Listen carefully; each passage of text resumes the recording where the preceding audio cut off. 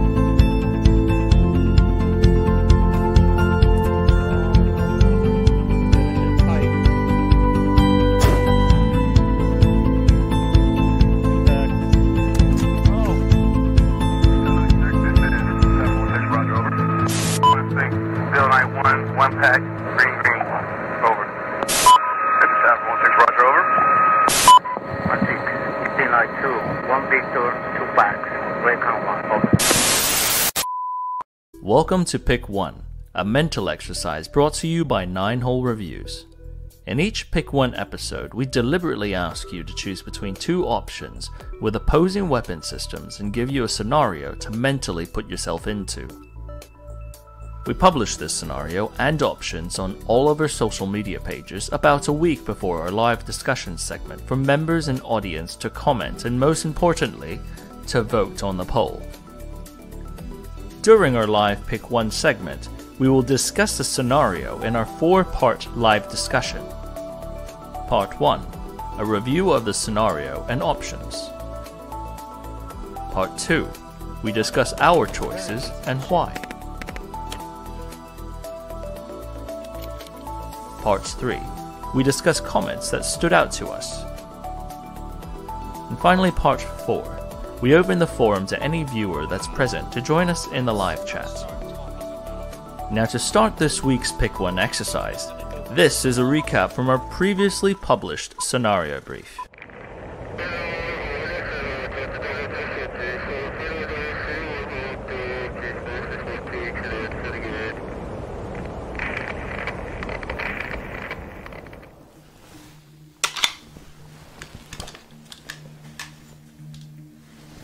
Nineteen eighty two.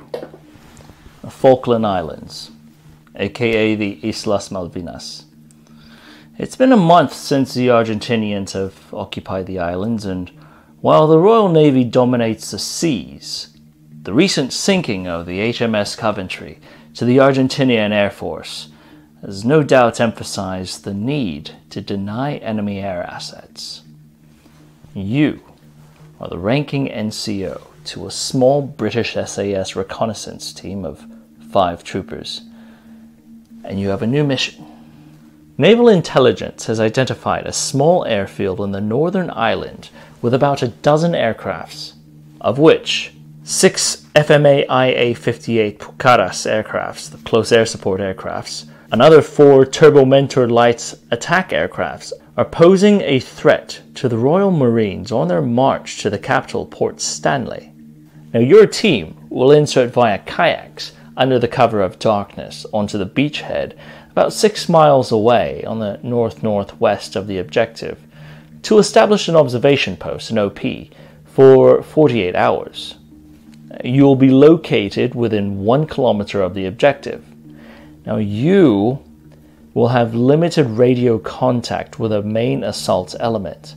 However, your team shall confirm that all 10 main aircrafts are grounded prior to the attack. You estimate a company plus of Argentinian soldiers that are also in the vicinity providing security to the airfield amongst Argentinian Air Force maintenance and aviation personnel. Once confirmed that all 10 targets are on ground, the main element of 40 SAS troopers will be then inserted by helicopter from the aircraft carrier HMS Hermes.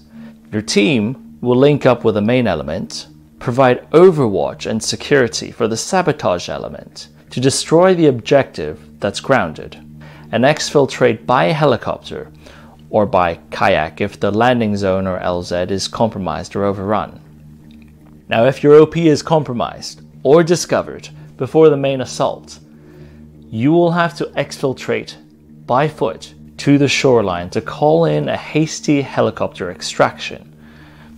But there have been extremely heavy headwinds, and it's already caused multiple helicopter crashes. On top of that, the Argentinians could also potentially respond with the aircraft on the airstrip that your mission is trying to destroy. Now, local weather is high winds, high precipitation, and the island is relatively flat with a very gradual terrain change. Now, furthermore, Royal Marines on the march to Port Stanley will unlikely be able to respond immediately uh, in time due to the isolated island and also the distance required to march, much less the water. If your position is compromised, it would be best to dig in and defend against Argentinian ground forces.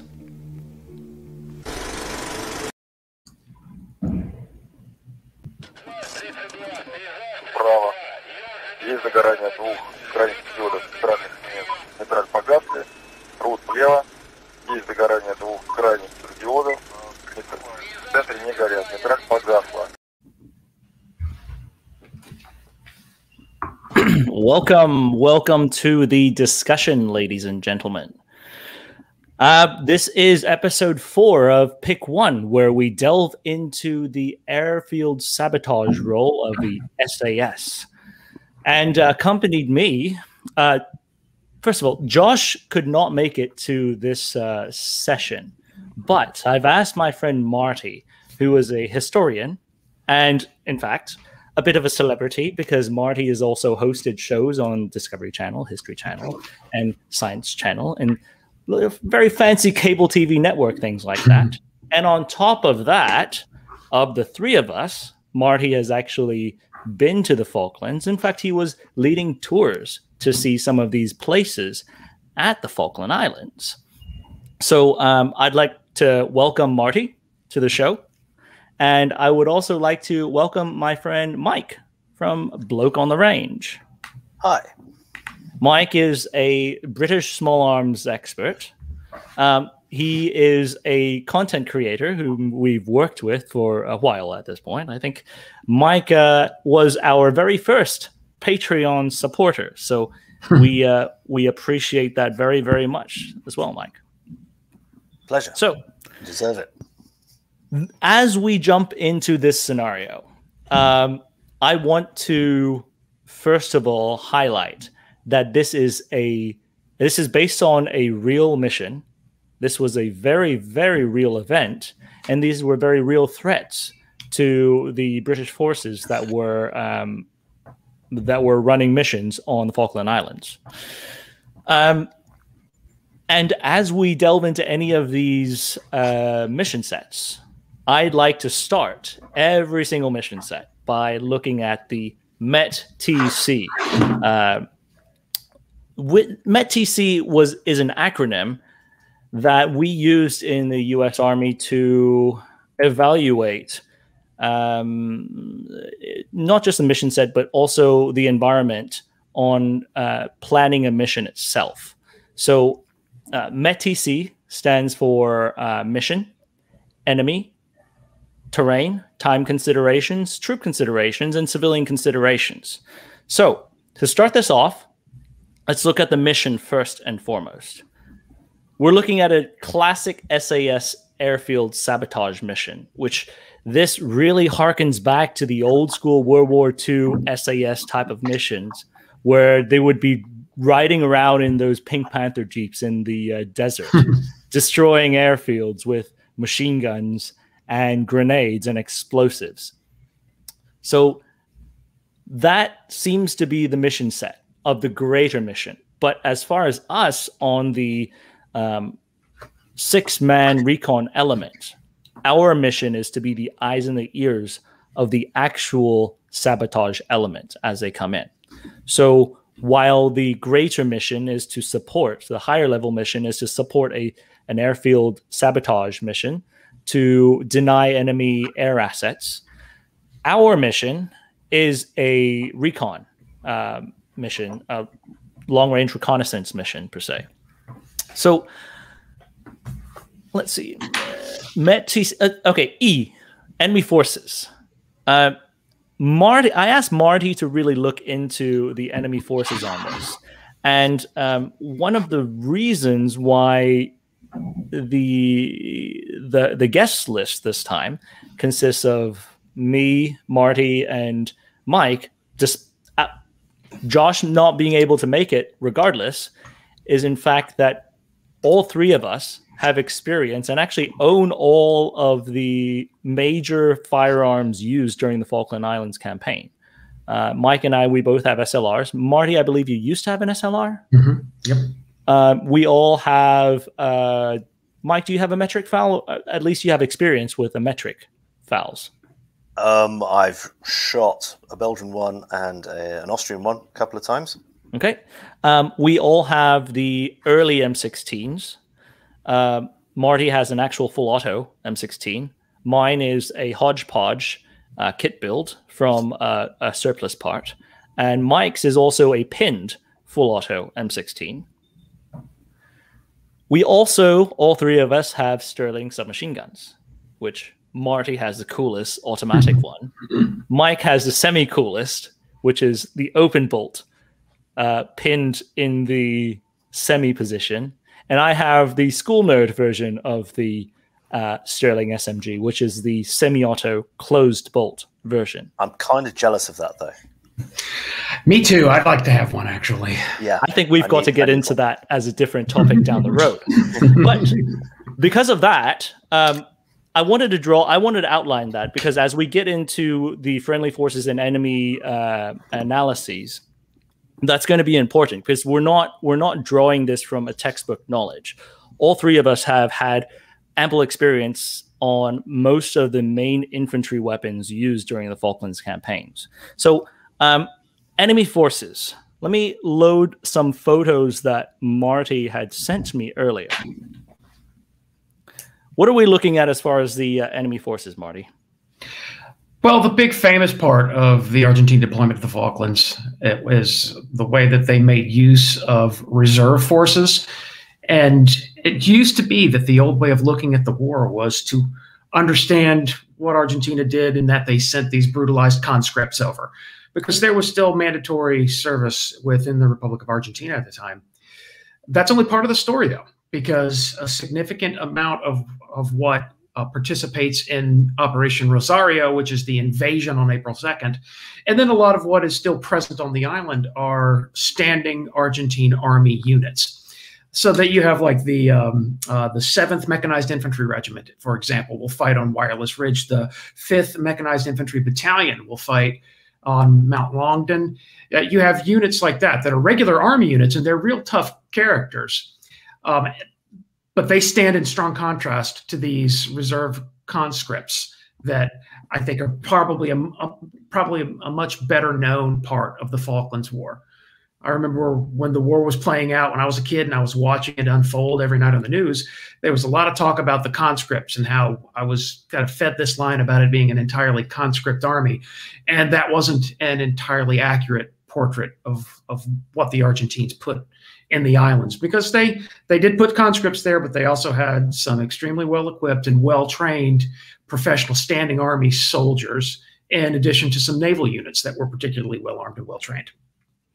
So let's think. Let's let's look at the weapon set of what the Argentinians were using. Um, let's tell tell us tell me a little bit about the their main weapons and some secondary weapons that they were using. Sure. For main weapons, the the big one, of course, is the Argentine version of the of the FAL, and famously, what they had there, they had it there functionally in four different categories, and that is the model 50.00, which were Belgian-made guns that Argentina purchased um, under under contract. This was they did this uh, preliminary to licensed domestic production of the FAL at the um, what is it, Fábrica Militar de Armas Portátiles, the military small arms factory in Rosario, upriver from Buenos Aires. And the FMAP guns came in the version that we would ultimately see as a commercial export to the United States. The ones on screen right now, those are Belgian made 50.00 FALs. But then when they began domestic production, they made the uh, a full stock version of the 5, 50.00 with with the heavier flash suppressor. They then made the famous 50.61 or para FAL, as everybody likes to call it. They also then um, purchased some uh, the uh, fusil automatique lourde, uh, the of the FALO, as we like to say, and that paved the way then for domestic production of that. That would be the fi- model 50.42. So there you go. Yeah, there you go. Great shot of some of the 50.42s, the the FALOs that are there. In fact, I end up calling them. It's kind of unfortunately named the FAP, FAP, the uh, Fusil Automático Pesado, the heavy automatic rifle. Um, anyway, that represented the the main infant, standardized infantry weapon of Argentine forces, reserve and standing army forces. Secondary to that, they're they're also making use of the Mag 58 machine gun. I then there's also- one. I don't see one in the photos. Yeah, maybe I don't have a good Mag 58 photo there for you, but they were using the Mag 58. There's a great example of a guy. Uh, here's here's a paratrooper right here. Yeah. You're seeing a bunch of the folding stock 50.61s right there. Uh, and Yeah. strangely, I found some evidence of Marty, them. you still with us? I'm here. Can you hear me? Uh-oh. I can hear Marty. Yeah, I thought I'm still good. I cannot hear you. Continue on. Okay. I found some evidence of them making use of Belgian-made 50.61s because that's that's the type that they have on display in the museum on South Georgia. Have we lost Henry? I think we've lost Henry. We're a ship with no captain right now. Yeah. Uh, why don't you keep talking Yeah, about? sure. Shall I continue then? um, I was just saying that the the Mag 58 machine gun was was being used. Um, that that's all. Those that's your standard set right there. FALs and Mag 58s. Then you have this kind of interesting um, lineup of submachine guns, nine millimeter submachine guns being used. The Argentines had adopted uh, a, a, a, effectively a clone of the American M3 grease gun. It was called the PAM, and both the PAM 1 and PAM 2 versions, and that was effectively just a copy of the American grease gun, only in 9 millimeter. The only difference between PAM 1 and PAM 2 is there's an, an, ex, an external um, magazine well safety so that for your support hand, you can engage this, this magazine safety um, to reduce the likelihood of the firearm having a negligent discharge. They had Uzi submachine guns. In fact, the Buzo Táctico units that are involved in the attack on on Stanley itself on April 2nd, some of them are carrying the Uzi submachine gun, um, particularly with the Woodstock. They're making also use of the Sterling in the L34A1 version, the suppressed Sterling. You see, um, a photo earlier. Yeah, one of the, the- famous surrender photos was um, right? Yeah, with one right of them. yeah right there at government house in stanley where you see um, that the one argentine commando with his suppressed l34a1 leading some of the members of, um, of, of landing party 8901 out at the time of their surrender they also had a couple of domestically produced submachine gun versions most notably the halcon submachine gun that was a company that was located in argentina that made 9 millimeter submachine guns that's in addition to some oddities that come up with um, Argentine naval forces. The Argentine Navy had BM 59E select fire rifles in the Falklands. We know that they were there, they show up in some photographs. What we can't prove is the Argentine Navy's use of the, the FN 49 rifle. We know that the Argentine Navy had FN 49s. We just don't know if they made it to the Malvinas during the 74 days of the occupation. Uh, we do know that the BM, we do know that the BM-59Es were there, although in very small numbers. And it's likely that those firearms didn't get anywhere out of Stanley because you had naval shore parties that carried that as their standard weapon. And that's where all the photos of the BM-59Es come from. They're in the vicinity immediately of the city of Stanley. In terms of the forces up in the hills, though, uh, you had some conscripts up there with their with their um, Belgian-made FALs. Then you had like Seventh Mechanized Infantry Regiment, Fifth Mechanized Infantry Battalion, and they're fighting with domestically produced FALs along with their Mag 58 machine guns. And so, Were, the, were there know, not were there not also some? Um, I seem to recall reading somewhere about um, some Browning 1919 A4 machine guns being used as well. this is true. I shouldn't leave that out because I've got some great photos of those. The they called it. It was designated ALAM three, um, and all it was was effectively an Argentine 1919 A4. You've, you're familiar with it. You've seen it, chambered in 7.65. So there was some some of those there. 7.65. Yeah, chamber for the 7.65 cartridge. Interestingly, Yeah. Interesting. wouldn't that be a nice little package? Yeah, chambered Yeah. for the 7.65 cartridge. Interestingly. Yeah. Okay. Wouldn't And that Henry's back. Oh, and Henry's gone gone. again. Andy's back. Hi. There we go. Henry, Sorry welcome to the show. Nice of you to join us.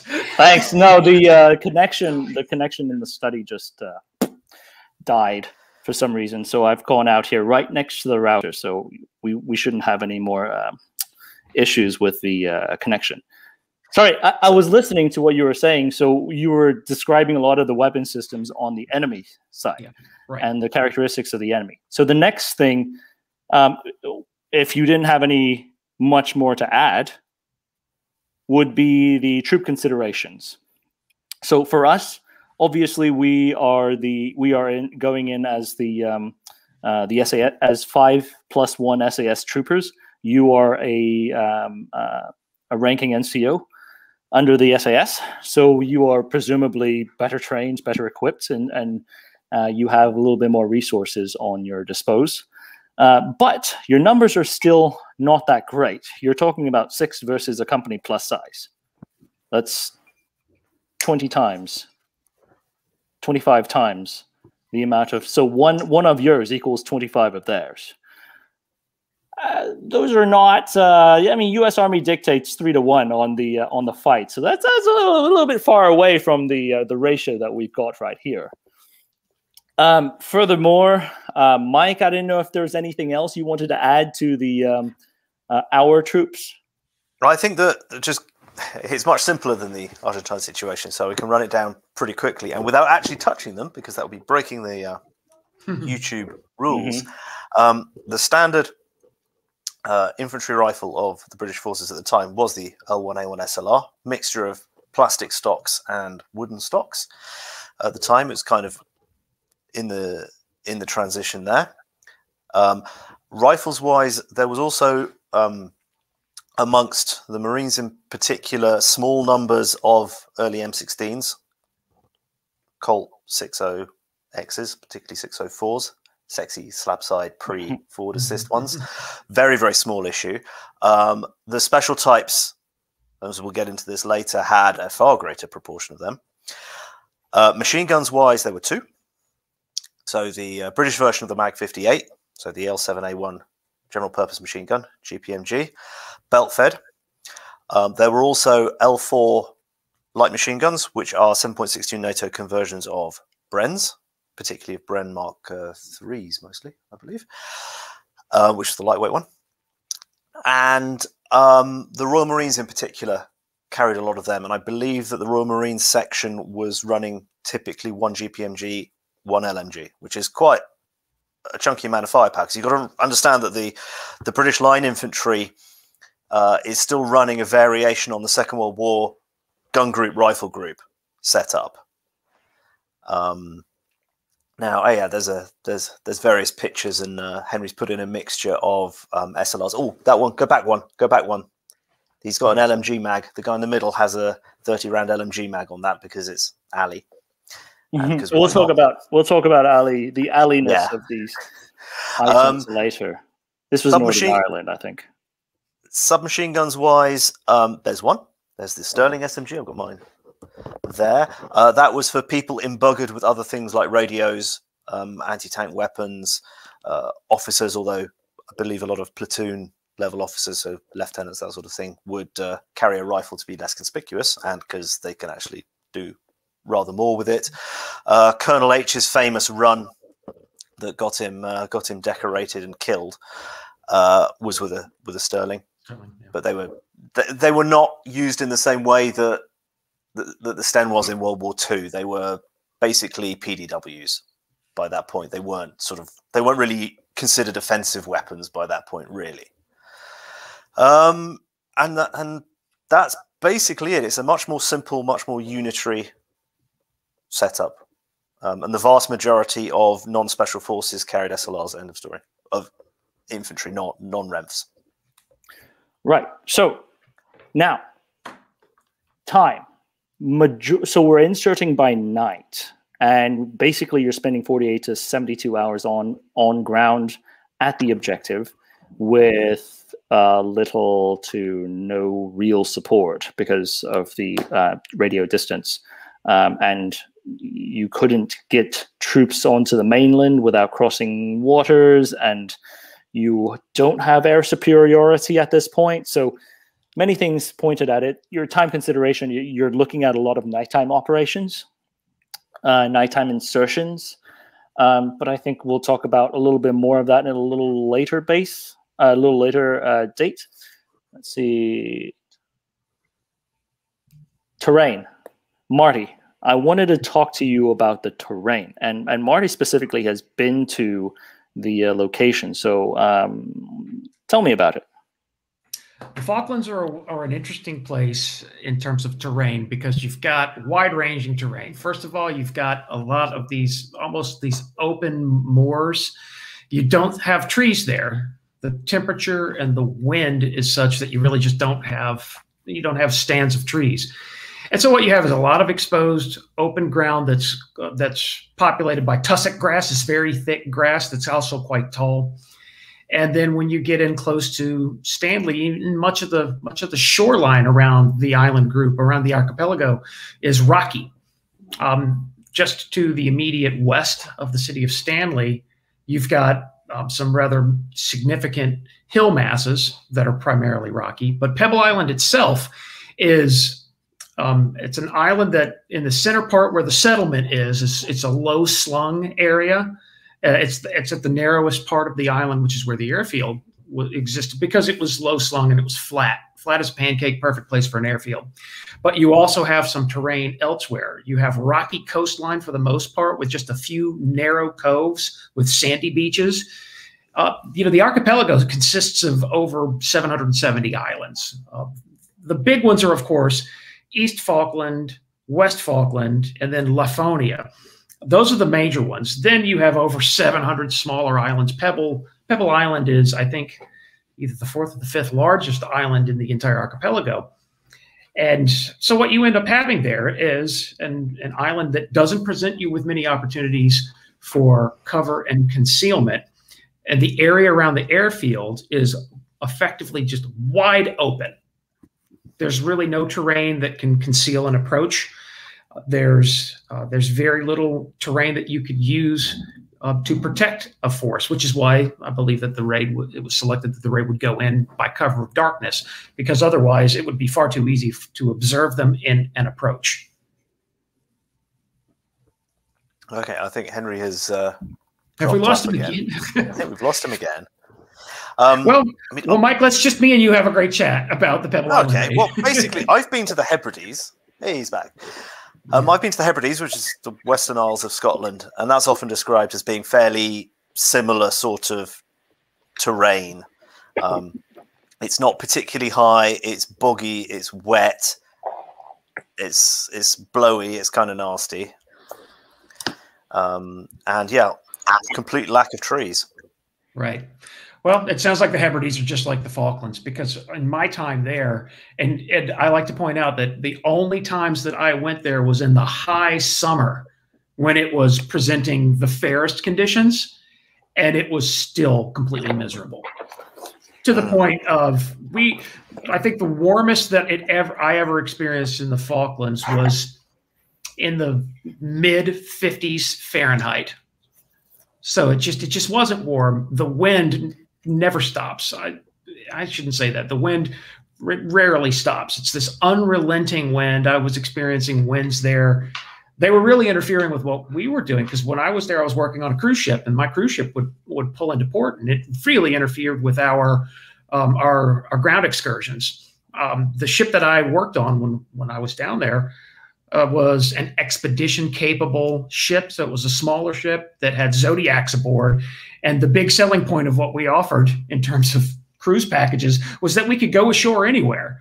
And we often found in the Falklands that uh, we weren't able to deliver on that just because the weather howled in so much. I mean, Stanley itself is 51 degrees south so you're really you're really getting you're really getting close to the pole um, when when you're there, which is why those conditions are like they are. Which is why you just don't see. Yeah, there's a great shot of me on Wireless Ridge right there um, during one of the tours. Yeah, that little GPMG. Well, that's I'm sorry, it's an Argentine Mag 58 tripod. That's on Wireless Ridge, looking north toward Teal Inlet, sort of. Uh, at any rate, what you what you see there is that's a great perspective of showing you how there's all this low windswept growth, and there's just not much there that can protect you from the elements. Uh, and I believe that that's why the population of the islands has never really expanded into anything beyond about gosh, it feels like when I was there it was 1,800 people, and I feel like that's brought the population of the islands was about 100 years ago.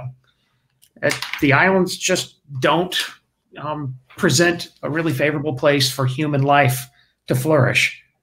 That's why you get so much herding that goes on in the Falklands, because there's not much else you can do. You do have plenty of tussock grass, so that if you're herding sheep, they have plenty to eat. They're a largely weatherproof animal anyway.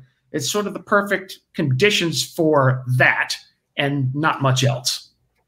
Gents, I uh, apologize for the slight hiccup. I mean, I, I realize this is at the very opening of the uh, of the show. My wife and I, my wife has helped me set up temporarily station at the uh, breakfast table, so I do have a separate screen to show everybody the uh, items that we needed to show them as well.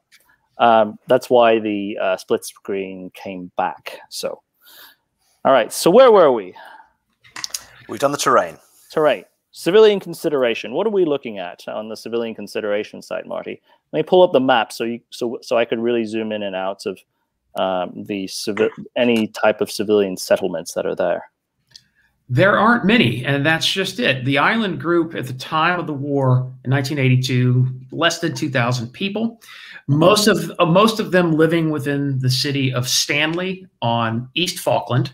Then you ended up with what they call camp settlements down there. That is, you have a number of dispersed settlements at places like North Arm, Goose Green, Fitzroy. You um, you have these smaller settlements in addition to um, settlements that were basically maybe a house or two for one family. And so you have Stanley with a population of about a thousand people, and then a handful of other, if you can call them towns, very small settlements, settlements for more than one family. That's how I would put it. And then all of these smaller settlements that are effectively just settlements for single families, which is basically what Pebble Island was at the time. So, So- Pebble Island we're talking about is all the way up here on uh, Falkland, on the Falklands. Right, correct. On So, it's the northern part of West Falkland. okay, I was uh, I was gone for this. Were you able to talk about the uh, the terrain changes between Pebble Island and the rest of Falkland?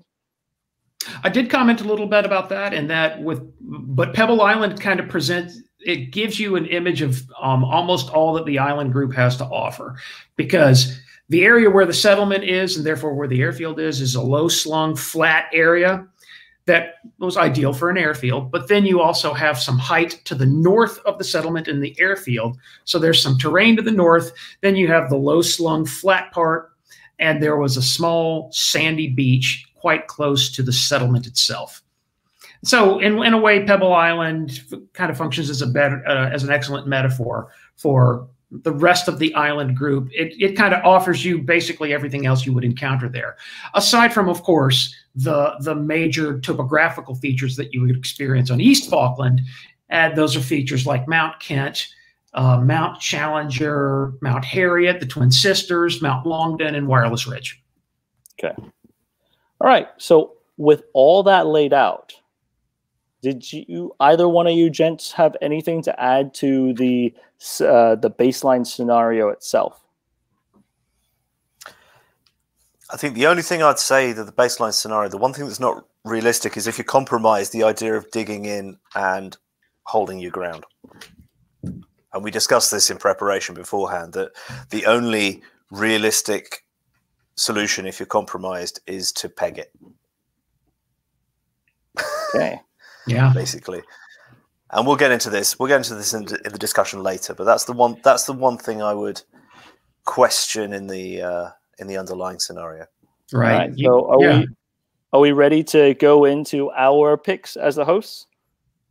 Let's dive in. Да, принято. Контролируем автоматическое сближение.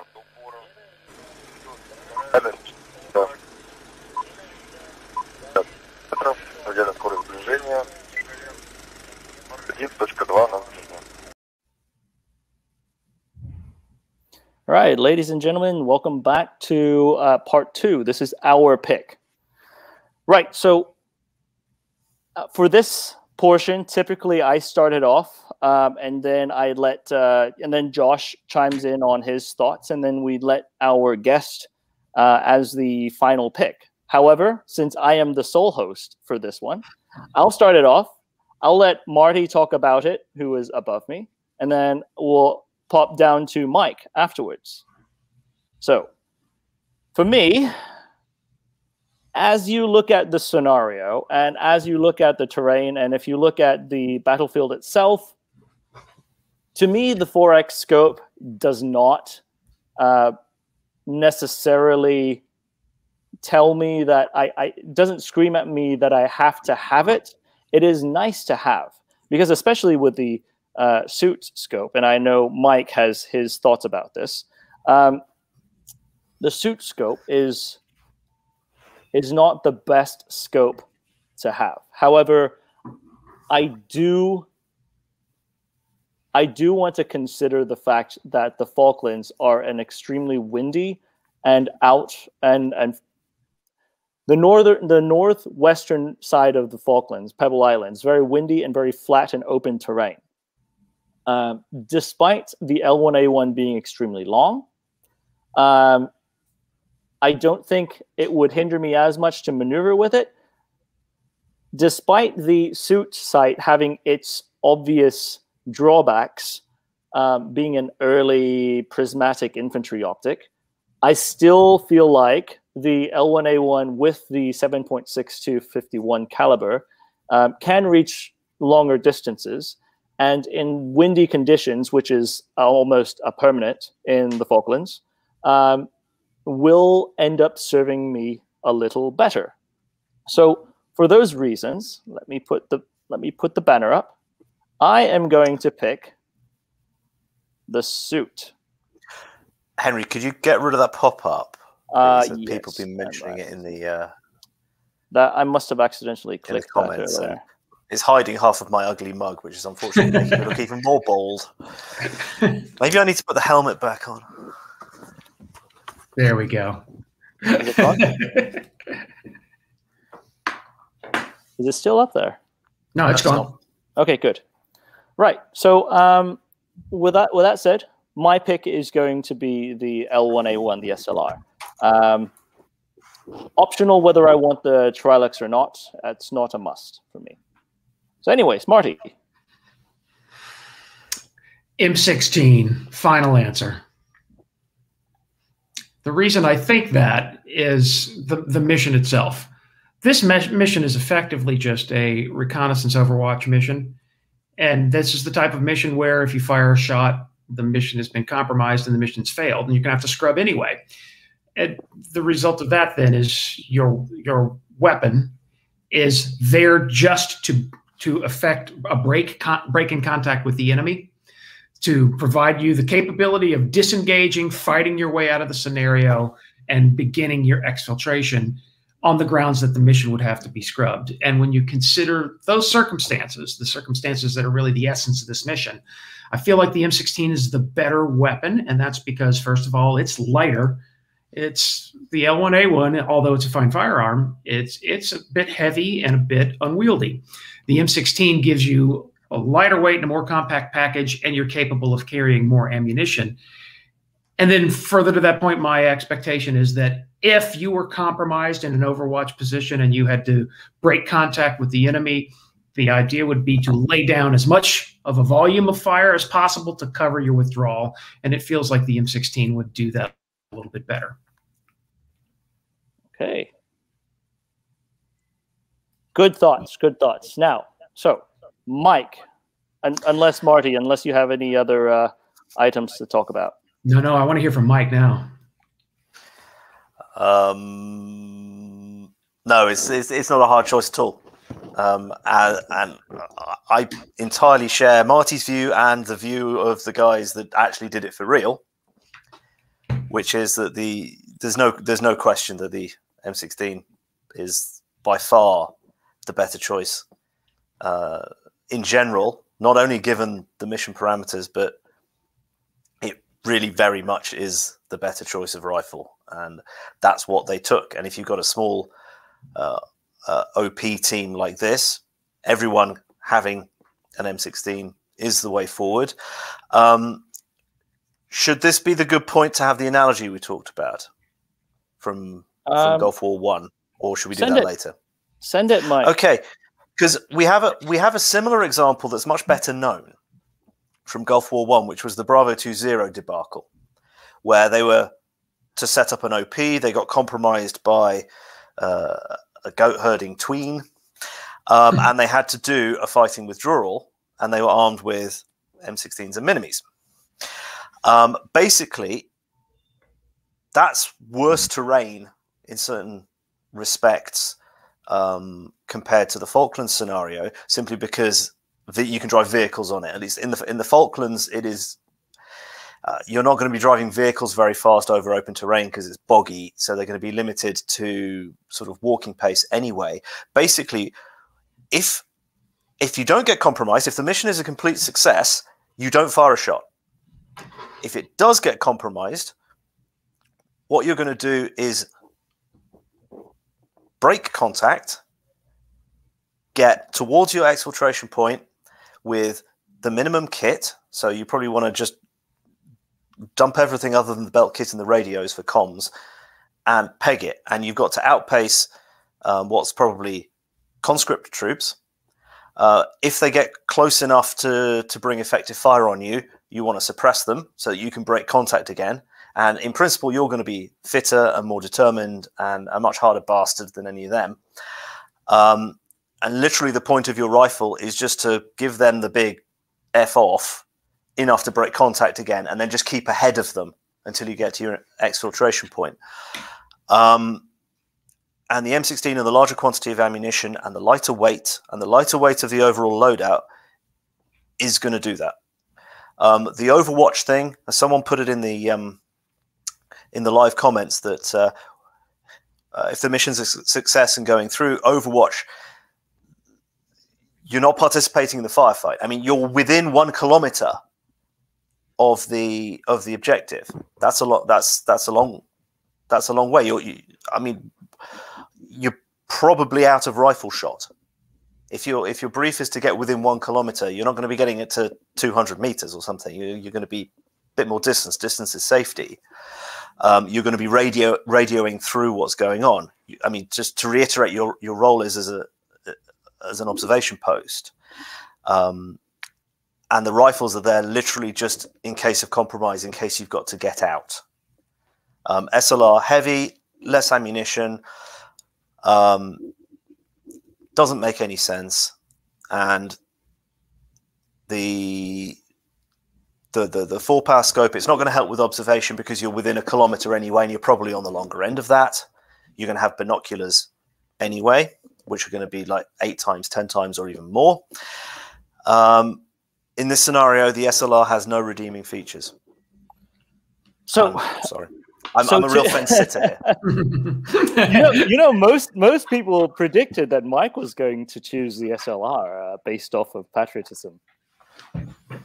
I mean, people who watch the channel enough know I'm rather a fan of that one that I can't touch. so let let me so let me draw this uh, to a distinct conclusion, um, if I may, with a sentence. Both of you choose the M16 to preserve the nimbleness and the stealthness of you with a larger amount of firepower uh, to ward off the enemy in case of an engagement. Yes, basically, if you're being chased and they get within close enough range to bring effective fire onto you, you can return effective fire. Okay. All right. Um, I know we're running a little short. I do want to get towards uh, reviewing some of the other comments. Uh, but before we get there, I know Mike distinctly had a lot of research and, and thoughts on the uh, Trilux as well. And you, you sort of mentioned a little bit of it, saying saying that it's useless. Could you expand upon that uh, on the, the infantry side? All right. Um, they're not reliable sights. The tube itself is super robust. The mount is hot garbage. And it's a quick detach mount and it's hot garbage. And it's held in place with hook with like metal hooks and springs, and they don't return to zero very easily. In fact, they don't return to zero at all. Um, you're you're inserting by kayak, so you're not going to have it on. They're sensitive to knocks. They're on Wrigleyton. They're they're just like it's a complete design by committee. It's like we've got this pretty great tube for the era, mid seventies. How are we going to attach it to the rifle? Uh, let's hook it onto some Wrigley tin. They're cool. So let me ask you this: what, what was what was the design? What was the design parameter for it? Why why did the British military issue the Trilux in the first place? Um, as far as, as I mean, a lot of people will be will be screaming designated marksman, but that's not a thing. Designated marksman is not a thing in the British doctrine until the L uh, L one twenty nine A one, the LMT AR ten derivative comes in like decades later. Um, it's there'd always been a desire to have an optic for the for the infantry right back to the um, to the EM two project, um, and then they they introduced this in the mid 70s and i mean according to the manual because we can we can take it from the horse's mouth here Conveniently, Mike's Mike has the printout of a Trilux manual. no this is the this is the um, rifle training manual Okay, continue. the optic sight is a detachable sight with a magnification of 4 and is supplied for use with the rifle in the infantry role it is equipped with an internally illuminated inverted aiming pointer. The sight is designed to improve night the night vision capability of the infantryman and enable him to engage targets at longer ranges than is possible with the naked eye. The amount of this improvement is dependent upon light falling on the target and the target slash background contrast. The range at which targets can be engaged effectively when using the sights at the lower sight level varies from two to three times that of the iron sights. By day, the optic sight assists in the acquisition and engagement of targets with low background contrast at the effective range of the rifle, and is also a useful surveillance aid. The Trilux lamp used in the optic sight contains tritium gas from which no hazard can arise, blah, blah, blah. So there you go. That is it. It's literally optic Goodera for Which those I reasons. must- I must point, Marty. I, I don't. I don't think you know. You know this, but um, I, I have procured a Trilux for uh, Mike from the U.S. of A. Oh, have you? Yeah. Very yeah. nice. So we'll Very both nice. have Trilux or Trilux sights on our. Uh, Yeah. Um, when I've got it over here, I will do lots of testing with it at 300 meters. So great. mine. Now, you- now you'll both have, as they were called, completely worthless sights. indeed. Yeah, uh, I mean, I mean, I've I've shot I've I've shot a bit with them, and when zeroed, they're okay. But if you knock them or take them off, which Mhm. in this scenario, if you're kayaking, if you've got the sight on, you're knocking it. So you've got to take it off and put it in the pouch, and then you've lost you've, lost your zero. Yeah. So, What's the let me ask you this: the the the optic itself, um, or the iron sights per se, was it designed with a flip down iron sight from the very beginning to accommodate um, an optic eventually to be added onto the rifles? Well, there was actually um, in the trials there were optics similar to the um, EM2 optic. In fact, I think it possibly even was the EM2 optic. Again, but again, mounted to Wrigley tin dust cover.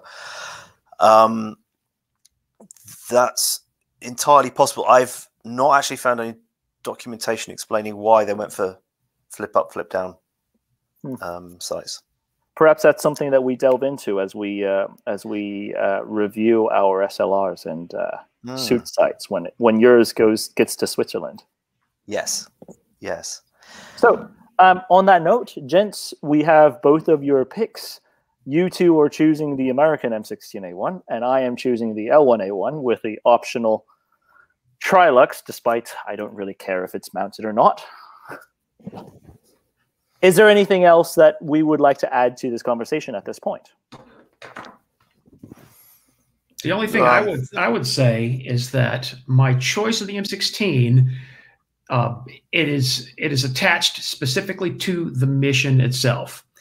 Um, when I, when I was leading tours down there, I spent a great deal of time in the hills immediately around Stanley, specifically going up to Wireless Ridge and to Mount Longdon.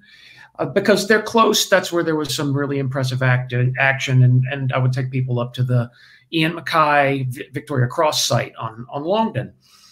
And that area, the valley that's sort of north of Wireless and Longdon, I always just nicknamed it the Valley of 7.62 NATO because it was in so many ways like a rifleman's paradise in terms of how much range you could get. There was just no cover, Hold Marty, wide open space. Are any of these in the photos that you sent me? Because I'd like to bring them. Yeah, there should be a couple of photos. If you have photos of minefields, those are the uh, the photos that I have of Okay. the minefields are the minefields that the Argentines laid in that valley just to restrict movement because they understood that they understood that their opposition was approaching them from the west, and so the Argentines established this U-shaped perimeter. Um, in the hills around Stanley. And of course, as we all know, they laid the area heavily with mines. And that had the effect of then uh, channelizing the approaching engaging force. It brought them under fire that the Argentines had already laid out. The Argentines weren't nearly as amateurish in laying out the defenses as I think sometimes people believe them to have been. They laid out a pretty effective d- defense. And what that had the effect of doing is that everybody wanted to stay away from each other because, as Mike said earlier, uh, distance is safety the farther you are away from the opposition, the safer you are. And they, the Argentines had the effect of, of creating circumstances by which, under daylight, it was very difficult for you to move into contact with, with the enemy, to move into contact with Argentine forces behind prepared defensive positions. Which is why then the, the final assault on Stanley, I mean, and I count that as beginning with the attack on Mount Longdon on June 12, 1982, stretching all the way to the final surrender at about nine o'clock at night on June 14th. That's why so much of the uh, the critical aspects of that maneuver battle, they're unfolding, they're movements that are unfolding under the cover of darkness. Uh, because otherwise, you would never stand a chance of infiltrating into the Argentine positions and it's because the Argentines had laid out the laid out their defenses in such a way that if the British attempted to approach under daylight, they could simply bring them under long range accurate rifle and machine gun fire. And so the M16 suits the Pebble Island OP mission ideally. However, if you were fighting in daylight circumstances in those in the hills approaching Stanley, it feels to me like the SLR is the better rifle to choose that is until the sun sets, at which point the engagement distances compress quite a bit. Because if you look at three paras assaults on Mount Longdon, all of that's at less than 100 meters. And that stands in strong contrast to, uh, you're probably familiar with the, the action that takes place at Goose Green on May 28th and 29th with two para, uh, where two para basically uh, conducts a direct frontal assault um, in daylight, and they lose people. They lose a lot of people. They lose, in fact, a, a commander. They lose Herbert Jones, the Victoria, the other Victoria Cross action, and he's brought down. He's moving forward with his L2A3 Sterling, and he gets popped, uh, and, and that's by a position that he had already passed, and that's something that probably would not have happened if it was under cover of dark, but it was a daylight operation and let's face it those FALs they're, going to give you a, they're going to reward you with a more handsome dividend under daylight operations Okay, so that actually ties back into our initial analysis on this. The fact that the time, uh, the time frame of our operation is majority at nighttime, um, um, movement is majority done at night. Uh, you're attributing your choice to those decision factors as well. That's correct yeah I've pulled up some of the images of the minefields that you were talking about. So you can right. see rolling fields, and then of course, if you know if you know the area as mines, you are going to avoid the area as a soldier. Um, it's just a classic way of denying access to a location. And these were Argentinian mines, you said? Yes, sir. In fact, most of them, I mean, the Argentines laid them. The Argentines bought them from the Italians. They were these little SB 33 plastic mines, about 88 millimeter in diameter. And those little bastards are still out there. Oh, um, what- it's believed there are over 100,000 of them still out there. There was an attempt in the immediate aftermath of the conflict to clear those, and 12 Royal Engineers got killed trying to pull mines up. I And thought, so they I thought I yeah. thought they finally demined the whole place like last year. I thought they'd finally managed it.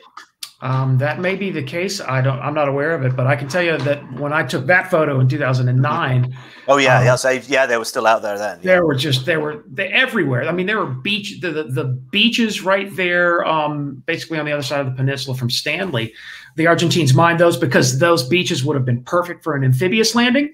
And the Arge- Argentines, in anticipating that, mined those beaches, and we couldn't go anywhere near those beaches.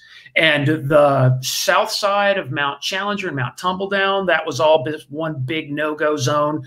And you can see how well marked off those minefields are. The one that you're seeing right there is in that valley between Mount Longdon, um, stretching north toward Teal Inlet, to kind of northwest toward Teal Inlet. Um, and those areas were, um, there was just, there was no considering possibilities of moving through that area, even on foot because the mines are primarily plastic, so they haven't corroded in the in the weather. The tussock grass has grown up so much that you'd never see one. You'd never stand a chance of avoiding one of those mines. And at least when I was down there, they were all still there. Let's see. So that's that's that's actually that's super interesting.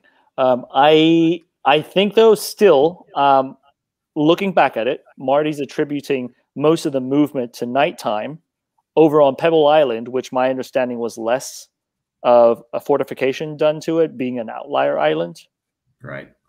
Yeah, Pebble Uh, Island. They didn't. They didn't have um, terrain suitable for creating the the defensive positions that you would see on, on terrain features like Wireless Ridge and Mount Longdon, uh, where the Argentines actually realized some pretty nicely thrown together um, field expedient fortifications. And they made the best possible use of them. At Pebble Island, there really wasn't anything like that.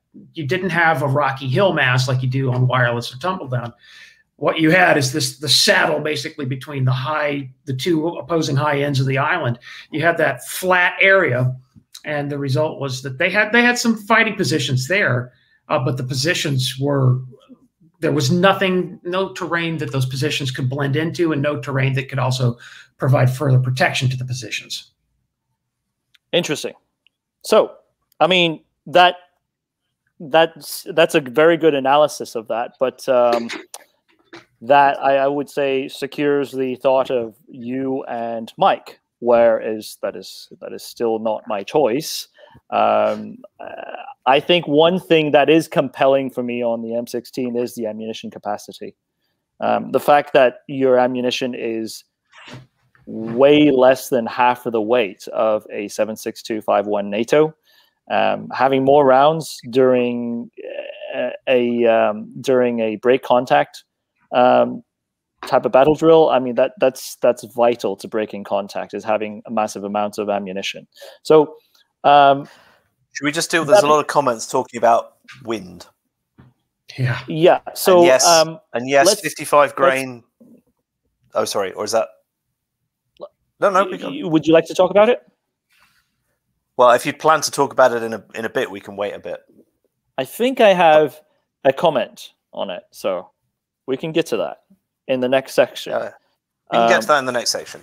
Great. Works for me. So, um, that said, uh, would either one of you gents have anything else that you would like to add to your specific picks?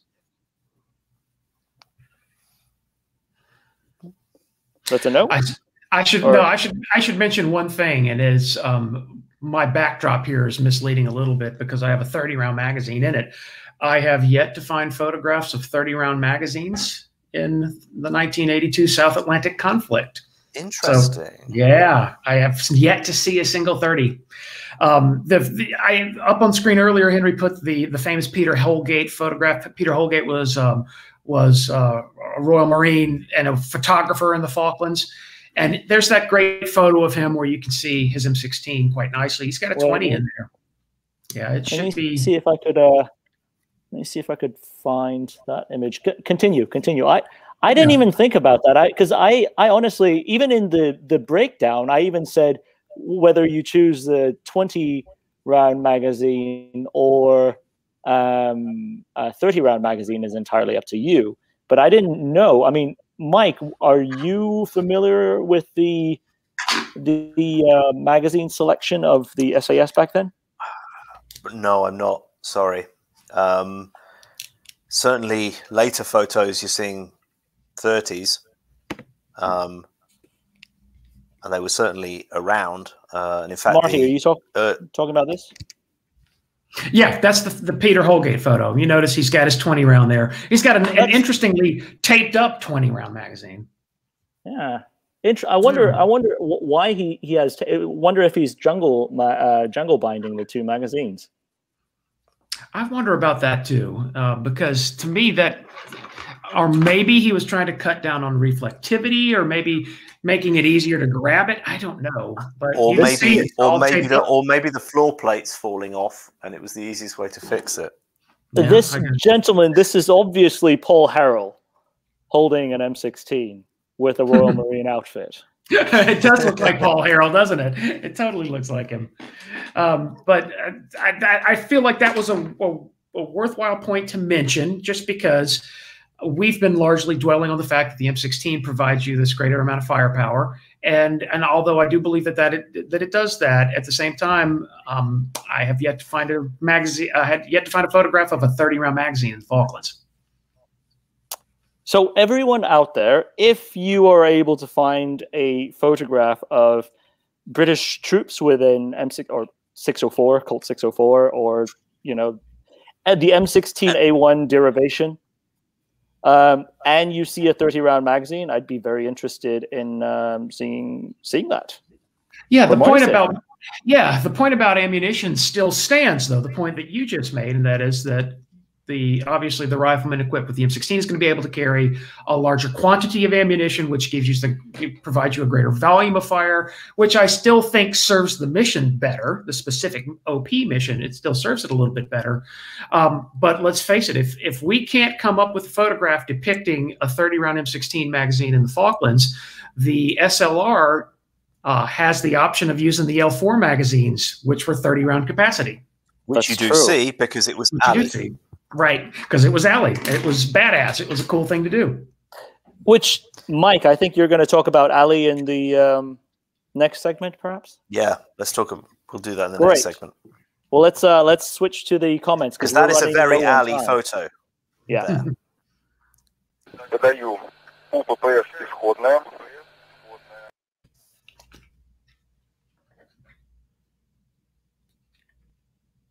Let's see. Did we did we uh, switch over to part three yet? Uh, Nope. Everything's running very slow on my end for some reason. I'm just going to manually switch over without the uh, fancy uh, cut screen. All right. So part three, as we uh, segment towards part three, we are going to talk about um, the comments that uh, all of you out there have made. So um, we've got together and looked through some of the comments, and really, there's so there's been so much dialogue between the three of us. But I've been deliberately asking Marty and Mike to hold back on some dialogue until we're able to talk about uh, these with the with a response to these comments. Now, one of them that that jumped out to me was that someone, uh, Chris Butler, here says that I swear the L1A1 has that Russian 1P29 scope on it. And then Jinji the man uh, Hmm. wrote back saying, "Isn't the 1P29 a direct copy, uh, co- copy C O P P Y of the Trilux?" It it sure is. It indeed it is. And if you're wondering what the 1P29 is, we've actually shot this on our show. Um, uh, I think earlier last year, it was one of the coldest. It was one of the coldest shots we did with the um, SLR 104, which is a direct copy of the AK 74. Uh, so you can see the similarities of it. Interesting to me, though, if you really look at this, look at the cam bridge right here, is specifically what I'm looking at. So you have a pivot point in the front, just like the Trilux. You have the, the distance selector in the back, although the distance, uh, the elevation selection for the 1P29 is 400 camming all the way up to, I believe, 800, 900 meters. So it actually has more adjustment than the um, uh, the suit. The, Yeah, the suit the, for, the sighting, it's, it's it's um it's 300 and 600 meters, and part of the reason why the Right. pointer comes down from the top is to make it easier to hold over to get intermediate ranges. so But it's a it's a two it's a two so range the, sight. the interesting right so, so the interesting thing is i i personally i i was surprised when i first uh, got the 1p29 29 or 1P29 to, to shoot with for uh, um, our practical accuracy practical accuracy session.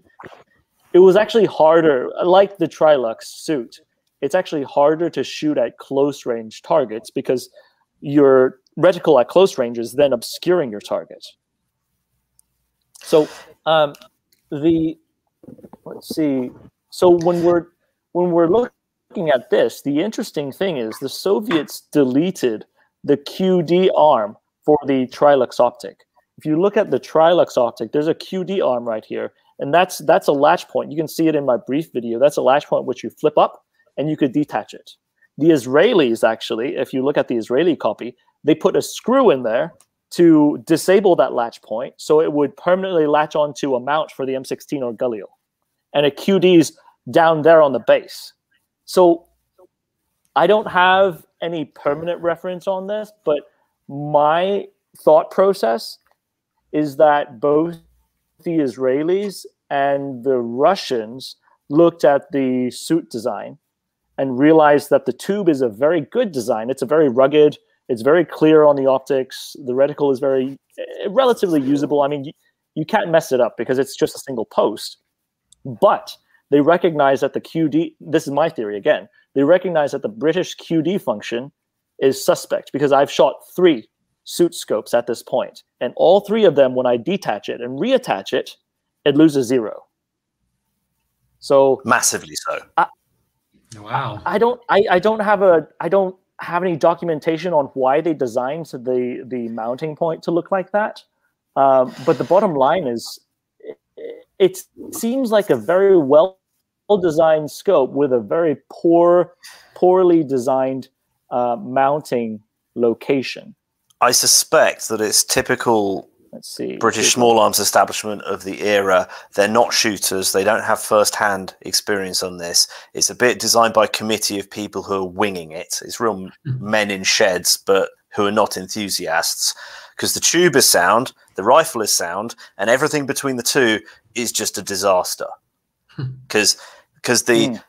the top cover, I believe it's reinforced for the suit, but in any case, it just It's slides. in slightly reinforced. it's it slides into the rails. So right.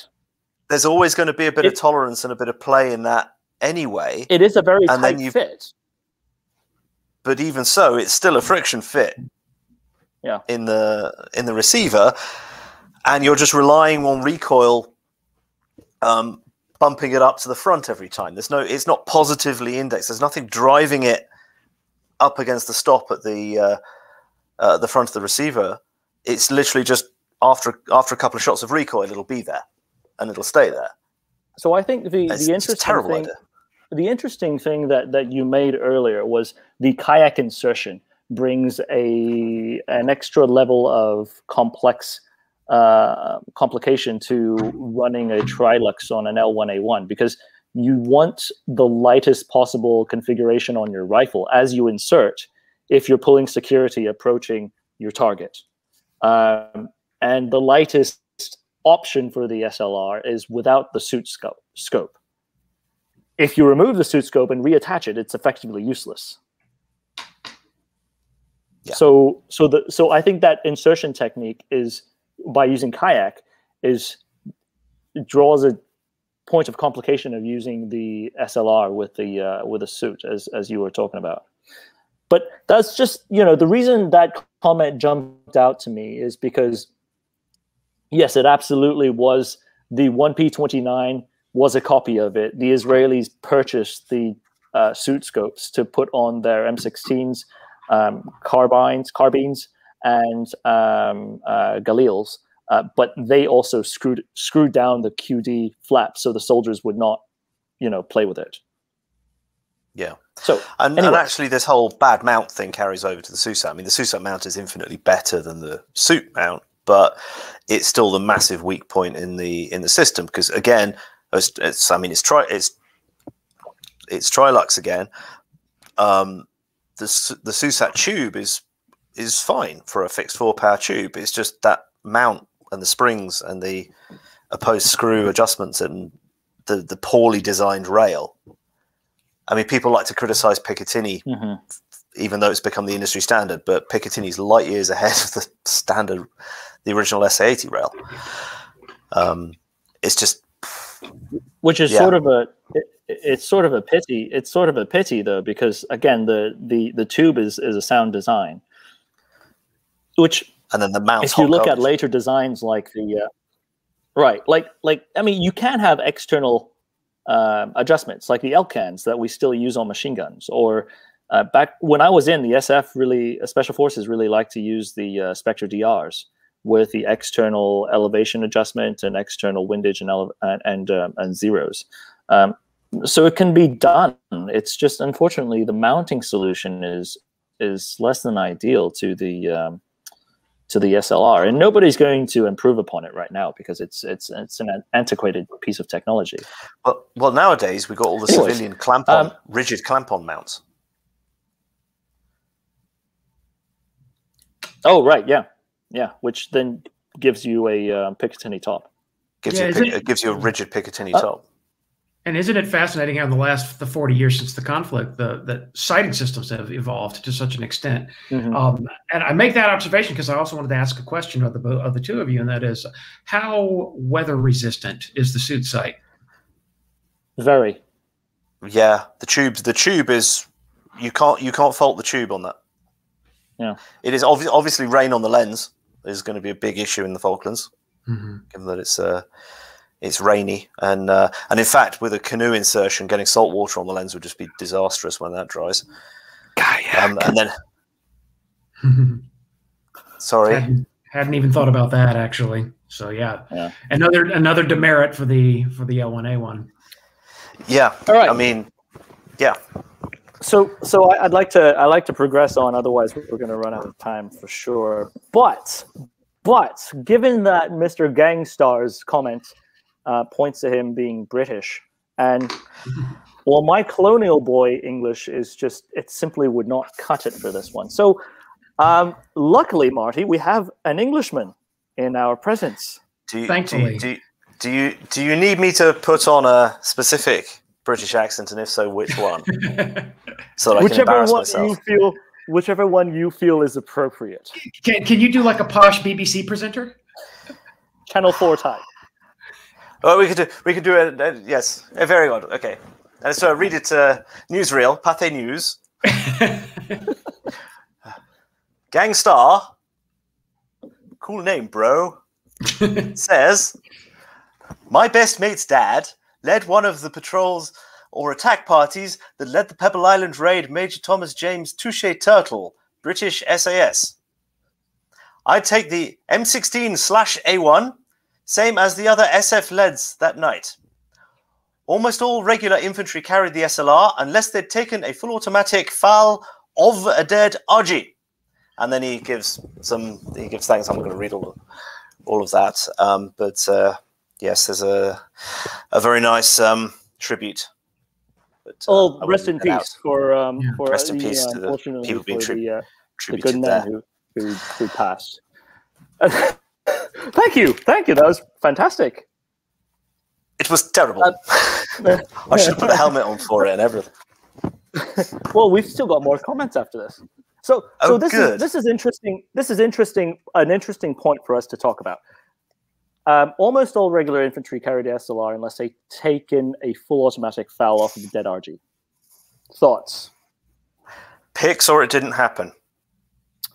Yes. Well, there are pics, And- but they all yes. seem to be posed. but that but they seem to be posed in a captured position of people going grr and things like that. Pic pic of someone using it unironically or it didn't happen. Yeah, I gotta admit that in my time speaking to veterans uh, from from the conflict, that uh, this comes up regularly. This idea of using captured Argentine weapons, and I think we all understand the, the basic contours of the trope and the contours of the trope where they um, like to capture the Argentine guns because they were select fire, and I think Mike's right on target. Pics or it didn't happen. And so, I so one think- thing. Go ahead. Oh, sorry, go on, Henry. No, no, no. Oh, I was oh, I was going to say, and that um, it was a point that Marty brought up uh, in preparation is that um, using captured weapons, certainly in US forces, is a big no no. You brought that up as well, Henry. Mhm. Um, the thing is that if you lose your personal weapon, other than when injured or something, you're probably on a charge. So if you were to ab- abandon it willingly, so you've got your rifle that you know that you've cared for, that is zero to you, are you going to abandon it for a rifle that may have been cared for by a conscript who didn't really care, may have be in God knows what condition, doesn't use your magazines, so you've got to take you've got captured magazines which are in what condition, the rifle's not zero to you, and all because it has a full auto capability that you A don't need and B aren't trained on. So I think I think this is this comment's one of those things that um, I don't want to be too hard on on people making these comments because it's always I understand they're not ill and it's not an ill. Oh yeah, it's well it's well meant. They're always well you meant. know it, it's it's not it's not it's not to to to say it's not to say to detract from someone's character um, on quoting these and uh, who's to say a veteran wouldn't embellish some piece of uh, uh, some piece of history to make it more interesting because I majority of believe we've done a is awesome. video on this, Henry. We'll, we'll, we'll, we'll, reference that in, in a later in a later point. But um, my my thing is, a lot of these were not first-hand accounts that you hear it from, and it's not that it has to be a first-hand account that we hear it from. It has to be a first-hand documented account that I would find it to be uh, credible. Uh, so a lot of these comments we hear it a lot, but we don't see a lot of evidence, actual evidence or actual documented cases. I mean, I don't. I've never seen a an award write up where it talks about soldier X uh, was awarded whatever medal because he was carrying an Argentinian rifle because of the full auto effect or, or whatever, something like that. Um, I, I've never, I've, I've simply never seen that, and it's difficult to, it's difficult to um, uh, attribute that as as truth by just looking at uh, somebody's uh, second or third hand account from you know his father's friends at the pubs. Yeah, and you know, we can further to that, we can track um, uh, the historicity of this trope insofar as I've always heard it. Uh, I've frequently heard it as they they take an Argentine FAL because they wanted to have select fire. Then I've also heard this one rumor that I've never been able to to prove one way or the other that the final assault on Stanley that begins June 11th through the 14th that um, that uh, in order to supply that final assault because so many other things had gone wrong during the British assault after the from the landings at, at San Carlos on May 21st all the way up through Goose Green, um, a number of things had gone badly wrong, and that there were there was a shortage of small arms ammunition, and as a as an adjunct to the old Argentine FAL trope, I've understood that there a large quantity of ammunition that was captured from the Argentine garrison at Goose Green was ammunition that was then used by. Um, uh, I can by- believe that entirely. I can too. I find that I am much more po. Uh, I'm I'm in a much more willing to agree position to that idea than I am to using the weapons. And uh, just to make one last point and beat the horse a little bit further, um, there's a lot of photographs of June 14th. There's a, some there are a bunch of photographs taken once the ceasefire went into effect on June 14th, and then as troops move into Stanley itself um, during the the discussions that start off as a um, uh, the, the discussions that will ultimately lead to the Argentine surrender. Um, and and all of the photographs of all of those troops who are under the ceasefire, but the surrender hasn't taken place yet, you don't see a single Argentine rifle. You see guys with with Sterlings and SLRs, and like there are there's a series of these really amazing photographs of, um, of a large group of the Paras that assembled at the race course that's just out on the west side of town, and they're all sitting in the reviewing stand at the race course, and I just don't see any Argentine guns there. That, that's why I'm taking it. I'm taking it back to pics or. It didn't happen. Now, in on on on the on um, in addition to this, though, I know uh, there were comments that talked about uh, capturing ammunition off of uh, dead enemy troops. Ha- now, I will put it this way: of all of all contacts of all battles fought in the past, the Falklands was actually one of the more interesting ones that both sides used pretty much the same rifles, the same pistols, uh, the same machine guns. I mean, the entire systems were very, very similar between the two. However, the magazines between the metric, the metric FALs, the Belgian-based FALs, and the SLR are not entirely interchangeable. The SLR can use the Argentinian magazines, but not the other way around. Um, so, of And all my experience so far with metric with metric mags in in an inch FAL, I mean, it could be that that particular magazine, but they don't run as well, and people make the lugs right, to weld for people to weld on to convert metric to inch because Yes, they yes. run better. They're more stable. Yes, so so that that's a caveat to that is that um, can can it be done? Yes. Can it be done well? Uh, no. But my point to this is people a lot of times talk about battlefield pickups, and I think that that's I think we've talked about this in the past that that's a very um, that's that's very driven by video games as of Yeah. the past few decades. The, concept number of battlefield comments, pickups. the number of comments on the prep on the prep vid um, about oh yes, I'd take the SLR because then I could use battlefield pickup. It's com- you, in in the scenario you're in no position pick up any ammunition because you're going the wrong way. If you get into a firefight, you're doing it to break contact and get back to a pickup point, whether it was helicopter or or from the uh, from the shoreline. You you are not physically going to be in contact with someone with ammunition on them because wrong direction basically and yeah as you say it seems to it seems to be a video game trope where Uh, you're always going forwards you're always overrunning positions and there's ammunition and you just have to press a button and it, you pick it up. You don't have to rifle through pouches and uh, covered in blood and what have you. Um, but it's entirely not a not a concern in this scenario in the slightest. Well, My point is, of all of the battles, this is the closest that it comes to it being an actual viable ammunition resupply by via battlefield pickup. However, I still would not. Um, there's other concerns too. I mean, security concerns. You, don't you, you don't want to be searching every dead body for uh, for stuff, and it's not just searching for ammunition. I mean, you don't know if it's a booby trapped body. You don't know if there's Yeah. a sniper watching the body. I mean, there's a lot more uh, than just running to a body and grabbing ammunition. One thing, though, again, you, when you're fighting a regular force, a lot of times, especially in the 80s, ammunition is generally carried in the same location, which makes searching for it much easier. But still, with the concern of traps and snipers and things of that nature, it's still not a good practice to capture enemy ammunition and directly pull it from bodies to use.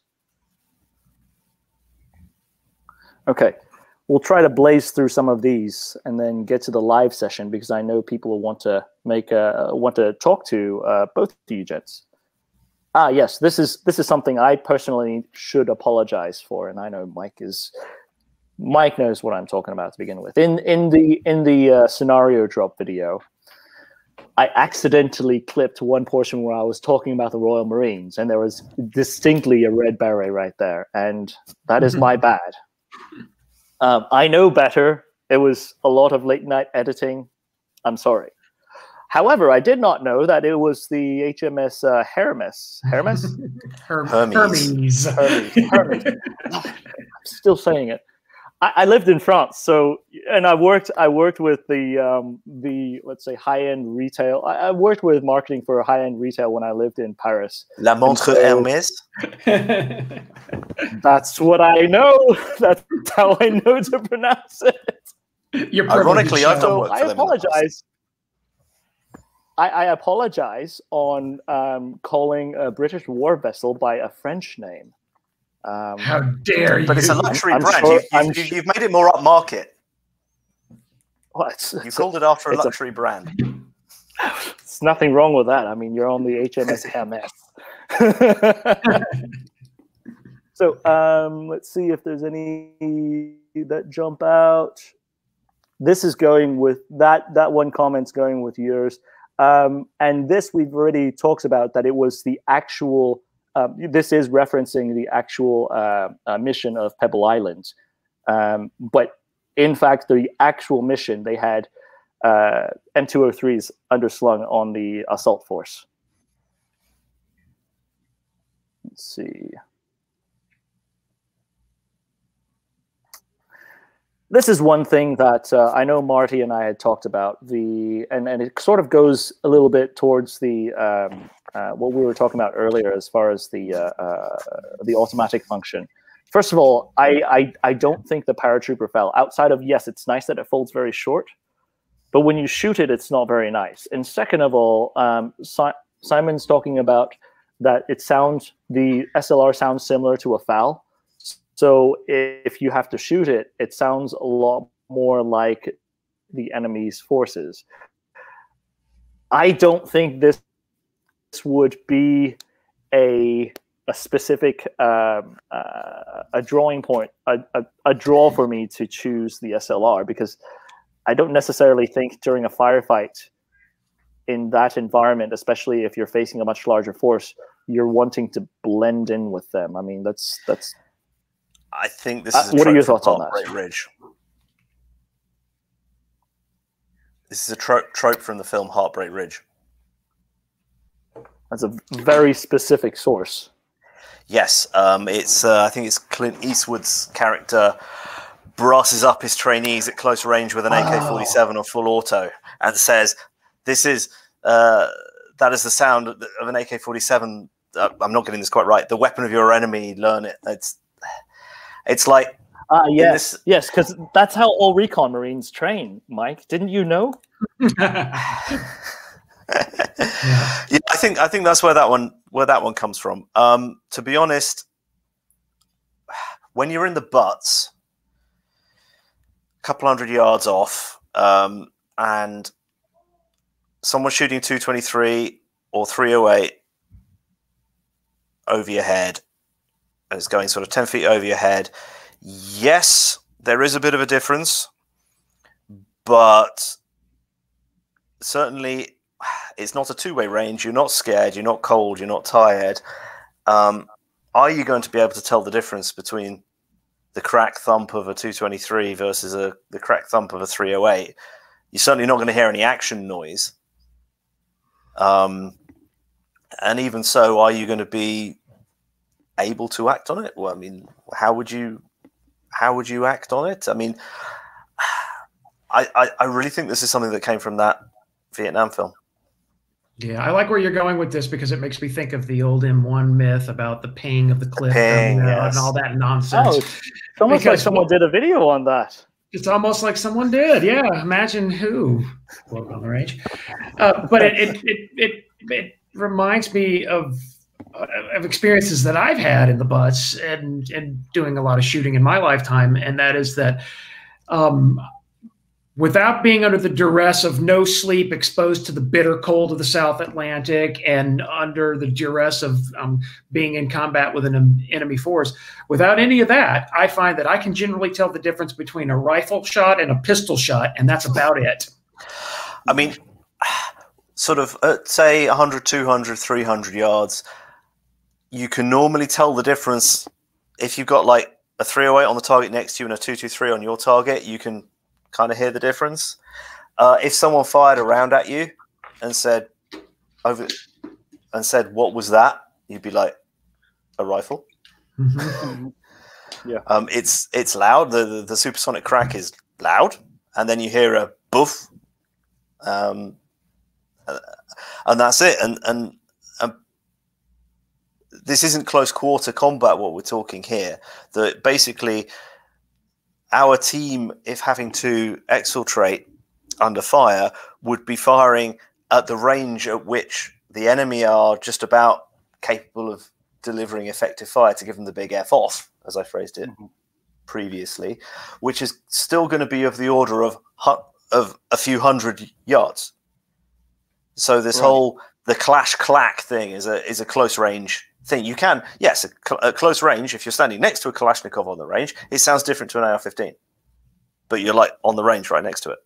You're, You're also fighting. You're also fighting. Um, I know Marty. Marty talks about some of the more crack troops that the Argentinians had, but there were a lot of them who were conscripts. Right. Yeah. And also, what we're talking about too is an airfield mission. So there's going to be Argentine Air Force personnel there. Not that I'm taking anything away from them, but I believe that they wouldn't really compare in terms of fighting skill against like Fifth um, Mechanized Infantry Battalion or Seventh Mechanized Infantry Regiment. Um, or the Buzo Táctico, or the you know the naval infantry units, they wouldn't be really be something to compare to those units. They would be trained and they would be uh, presumably confident, uh, competent, but I don't know that we could count on them to be the best and brightest that the Argentines had to offer. In So- any in any, in any in any case, the, uh, the the the the similar sound or different sound thing is a is a very close up thing. Yeah. In any case, Um, um, they all hit all rounds. All rounds passing close by hit the brown note. So, gents, we are running. We are running short on time. I do want to give the viewers a point, uh, a an opportunity of um, uh, asking us questions on the live stream. I wanted to open the floor up to them, but before that, I wanted to ask you if there are any further comments that you had, anything that stood out to you on the uh, viewer comments. Oh, one thing because i I'm having system issues today, I didn't pull it up right away. Um, the SLR won at 57% of the votes versus the M16's 43%. which is interesting given that the actual guys that had to do it for real, all of them took M16s. It's the it's the it's the uh, that classic draw of the beautiful silhouette of the SLR, my friend. I mean, maybe they just didn't take alliness into account. Uh, did you talk about Aliness earlier? We didn't. We didn't get a chance to talk about alliness. So one of your points was the alliness of an M16. What is an alley? What is alliness?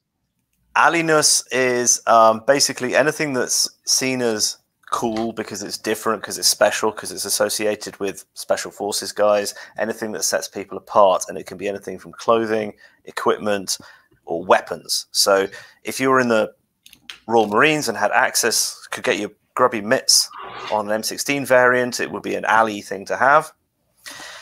Um, I mean, basically, it's it's basically it's fashion. And you said that in your time in the army, you had you have very much the same phenomenon. yeah. You didn't call it alley. And Yeah, no, no. It's uh, we didn't Neil a, says, didn't, alliness saves lives.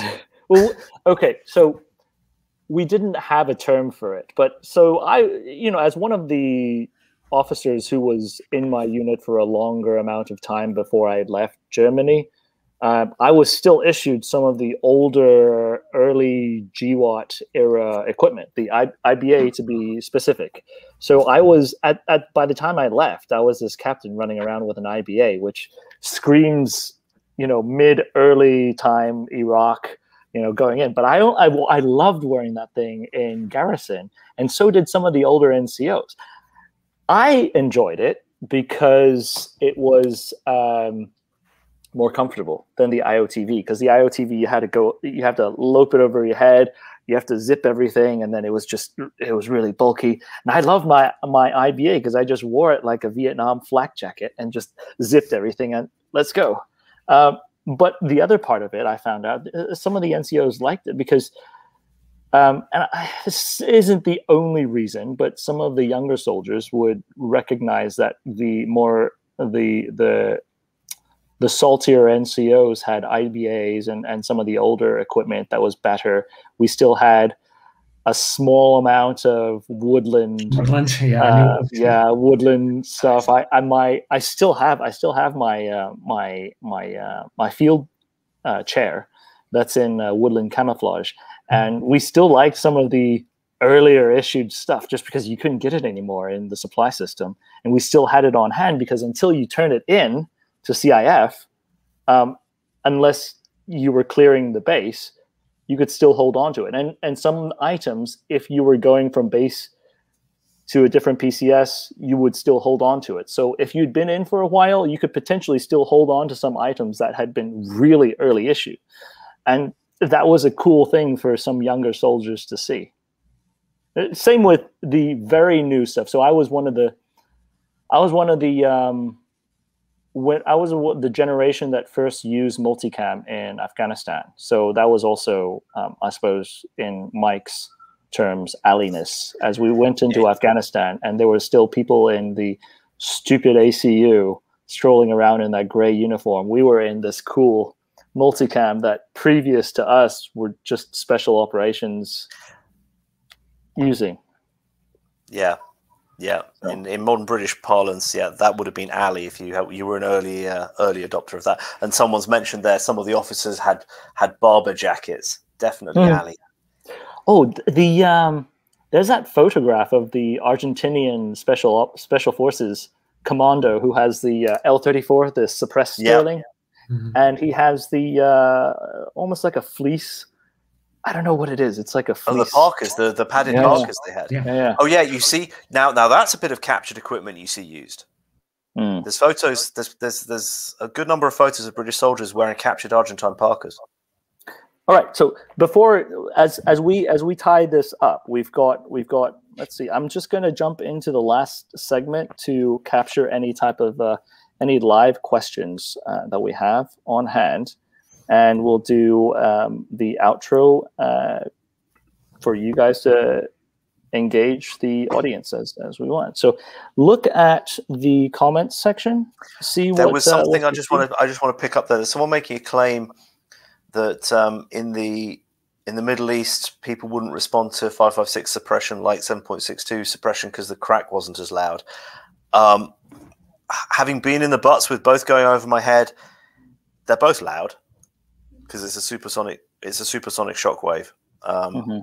You don't. I mean, if you couldn't you shoot a round of one or the other over over my head, I could not tell you the difference. Uh, I would say in the Middle East, and and it's, there's different parts of the Middle East that you would be shooting 5.56 versus 7.62. Um, 7.62 really commanded more respect when you're shooting into mud huts. Yeah, if it's making So- holes in stuff, it will certainly. I mean, okay, I can't speak. I've not been on a two way range. I can't speak for this, but I've seen it hit stuff, and yes, seven six two makes bigger holes in stuff. So I can see that, but it's but the supersonic crack is not. I mean, you'd need measurement equipment to be able to Yeah. tell me which is which a priori. Do you see any comments that you would like me to bring up on screen? Um, there's there's there's there's a lot of people asking about um, wind because we haven't talked about wind yet. Um, Yeah. Okay, so, so let's talk about as wind far from as a- wind, I, I think part of it, you know, um, uh, our practical accuracy series, we we we deal with wind a lot. Um, one of my reasons I, I put my pick as the L1A1 was specifically because of wind. With 556 uh, within 300 meters, yeah, it's no problem. Uh, 400 meters, typically with a 20 inch barrel, still not bad. Um, but past that, you really have serious issues with wind, especially if you're running um, uh, M193s. Um, so, what's your thought on wind? Mine is know your hold offs. That it's a training issue. Um, yes, yes, a lower wind drift like a flatter trajectory means you can suck more. But fundamentally, um, fundamentally, if you know your hold offs, it, it shouldn't be an issue. And it, with respect to the specific scenario, it's suppressive fire it doesn't necessarily have to be exactly hitting it just has to be passing close enough to cause to to, to give off the brown note to to um, slow the other guys down while you break while you break contact because fundamentally aiming at a man-sized target at 300 or 400 is over irons or even with a full power scope is hard um, and the amount of missing that goes on is a lot in any case. Um, so yeah, I think it's um, I think it's I think it's overblown that the slight advantage in not having to be quite so good at wind calling and not have to hold off quite so much for wind is a small consideration compared to the So- fact that the M16 is a much better rifle for this. So I, I think I think um, my thoughts on this. I think wind holdoffs. Of course, the M16 you require more. Uh, bottom line is, if you're looking at the M16, you're looking at a 400 meter or less engagement. I mean, that's the bottom line. Uh, Well, wind is I mean- still manageable up to 400 meters, in my opinion. But if you're talking funda- about, go. Sorry, fundamentally, if you set if you set the sights on a pre A two, um, doctrinally, the long range aperture is at 375 meters anyway, so it's only really good to 400, and Right. it's M193, it's 55 grain. So I think You more so more so drawing to the conclusion is are you looking at a 400 meter plus engagement? And at that point wind is a part of the concern because sub 400 meters wind doesn't doesn't necessarily translate to either. Yes you can do hold off no problem. Sub 400 meters for either one of them. Um, so at the end of the day like marty was talking about is this a are we talking about a um, an engagement at night, if that's the case, then you absolutely are talking about sub 400 meter engagement. Very much. Well sub. e- well even with even with a suit, you are not shooting at 400 meters at night. No, nobody's shooting at 400 meters at night. No. So, so Other when, than with a when- machine gun with a with a night sight on it. Um, Right. I mean, this is this is really only a concern if you're doing a daytime um, exfil under fire, but you you're being chased by conscripts, so you only have to outshoot them Mhm. and scare them and keep them delayed and down. Um, I mean, how close are they going to have to get to you when they're plodding through the bog? right, to actually put effective fire on you because that's your distance of the that you're going to worry about and and realistically because I'm, I'm sure i think marty mentioned it that it's not the elite troops that are going to be garrisoning this airfield. Right. how close are they going to have to get having plodded through the bog to actually bring dangerous effective fire onto you? And can you nail them at that distance if you need to? Hmm So, I mean, I think a lot of times the the wind, yes, it's a consideration, but a lot of times you've really got to reconsider the entire mission set and the METC um, analyses before you even look at the wind as the sole consideration to it. Just my thought. Yeah, you know, this is fascinating because I'm I'm enjoying listening to this conversation um, that we have more recently had about Afghanistan, for example, where we where we continue to ask these these platforms to do it all, and we we want small caliber, high velocity uh, for volume of fire and for close in fire, but we want um, uh, we want a battle rifle cartridge for longer engagement ranges. And um, we really haven't reconciled these two ideas, have we? Uh, the ideas that, like during World War II, with the introduction of like the Sturmgewehr, everybody thought, oh, finally one gun that can do it all. And if there's anything that's been proven in the last 80 years of the development of small arms, is that you're not going to find one platform that can do it all. And they were dealing with it almost 40 years ago in the Falklands. We've more recently dealt with it in Afghanistan. I imagine that it's something that's not really going to go away. Hmm.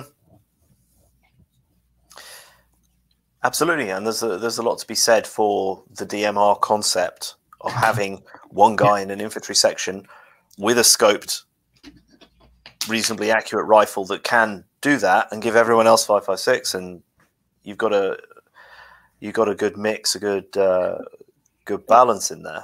Yeah. Okay, so so um, Karl over at InRange actually commented, and he made a good point um, on winds. But before we get to his comment, Mr. Spetsnaz here was talking about was a consideration of holding the airfield ever um, uh, after taking holding the airfield after taking ever brought up. No, it, it actually on the on the actual mission set it was not brought up to to hold the airfield.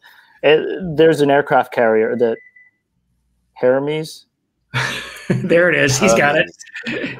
was um, was was there for for British aircraft use, and and they didn't really look at the airfield as a um, as a a, a location to hold.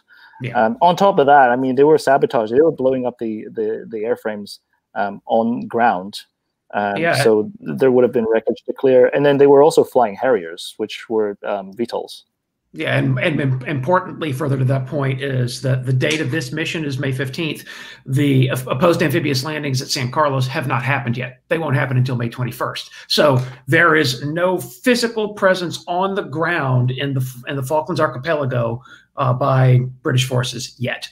And Right. so, with that being the case, you're definitely not going to have a small SAS insertion team hold an airfield because the enemy could overwhelm you so easily. They could have Mhm. flown in. They could have flown in a reinforcing element the next day. So if there had been an if there had been an attempt to hold the airfield, they would have just been swept aside the following day anyway because the British don't hold any real estate in the archipelago yet.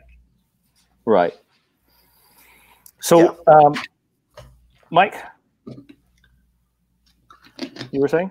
No, I was I was uh, I was going to say this comes back to Henry's point about this being a, a classic uh, boys' own World War II SAS thing of uh, roll in there, rough it up a bit, sod off. Yeah.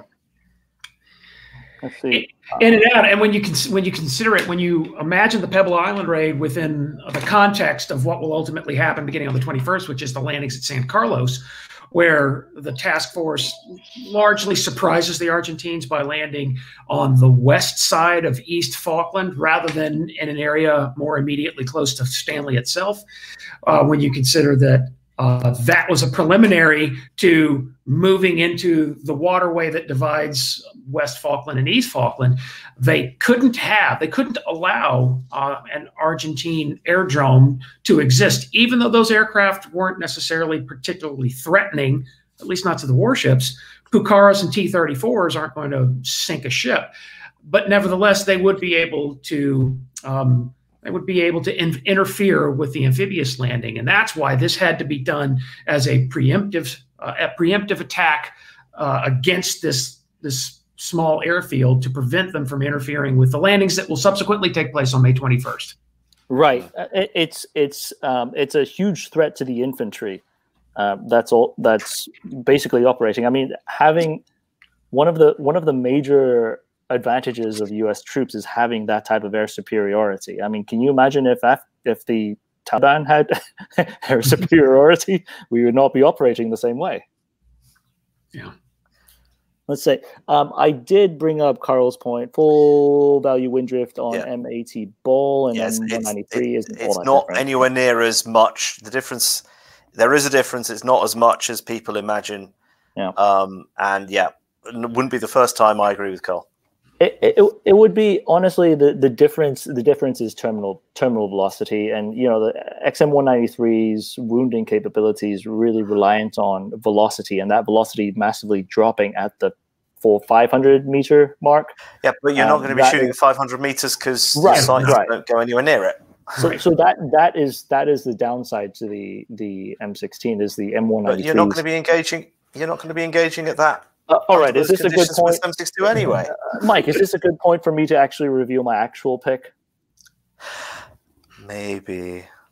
Uh, to, to disappoint the SLR, the, the majority of people who voted for the SLR, my actual pick is the M16, and that's that's not to any allegiance to um to you know the U.S., but more so it makes sense as a recon force.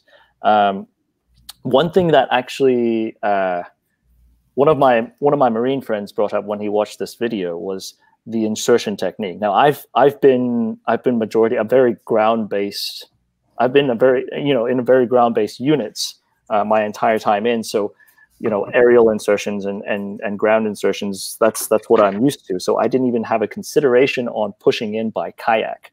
But um, early on during officer training, uh, one of the things was that the water survival training. I mean, they would. Um, this is more prevalent in the Pacific than it is to to us in in Europe. Um, but um, I remember they they they would they would shove you into a four meter deep pool with kit, and you had to pull the kit off. You had a rifle. You had an M16. It's a rubber duck. It's not a real rifle, but it simulates a real rifle. And you had to swim across 25 or 50 meters holding the rifle on top of your head in full fatigues with uh, with boots on. So it's not you're not with you know you're not in in swim gear. And people underestimate the difficulty of doing that with even just fatigues and boots and a rifle, much less if you were rolling with an SLR with 7.62 ammunition and a scope attached to it. That would be very difficult to do a kayak insertion and actually survive any overturned kayaks. Because remember, the the environment, the, the ocean, envi- the sea was was not very forgiving over over there in the north side of the island. Um, but it's not just because of that. That's one aspect that I didn't think about was the insertion technique. Um, the other thing that um, really stood out to me is practically that the mission set dictates for zero shots fired. That's that's the goal of it. And if Absolutely. there are shots fired, I would like to have the massive maximum amount of firepower to escape evade and get picked up by my extraction team or extract myself via kayak. So that's really, I mean, the SLR I think would be a good choice if you were a, um, a foot soldier, if you were a Royal Marine, if you were a, a para who was on foot for months upon end and pushing the varied terrain and, and long distances that were present on the um, on the main side of the um, Falklands that Marty showed with the uh, with the mined fields. Uh, but for this specific mission set, the M16 is a no-brainer. I had to choose the SLR though because there has to be a devil's advocate towards uh, the argument. Um, can I just pick up on quickly on on something that came past? There's someone saying, "Well, 7.62 stays supersonic out to 850 meters." Well, you're not Okay. shooting at 800 Okay, it's sighted. The SLR is sighted, irrespective of whether it's irons or the SUIT sight, is sighted to 600 yards or meters, close enough for government work, and the M16 is sighted to 375, which gives you, with the trajectory, you can still aim more or less center of mass at 400 meters. So.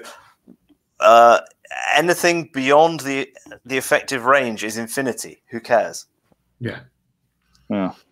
And I just want I want to throw one thing in here because I think some of these um, considerations are a bit on the academic side. I would just Oh, point yeah. out that like the spot where the Ian McKay Victoria Cross action takes place on the night of June 12th on Mount Longdon, the point where McKay and his men got pinned down, they had they were attempting to flank around um, the positions on the northward facing, now that would be the westward fa- facing slope of Mount Longdon, and they rolled around to the northward facing slope to try to outflank the position and walked up on an Argentine Mag 58 that opened fire from a range of 20 meters. And so his, his and they were behind rock, so they were fine, but they couldn't they couldn't pull back away from the engagement.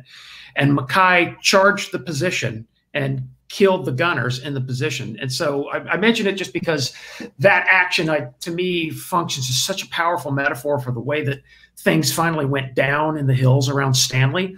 And that is so much of that fighting was at night and at ranges that were so close that academic thoughts about whether or not the 7.62 by 51 millimeter cartridge remains supersonic at 850 meters um, Oh, feels a bit like of a diversion.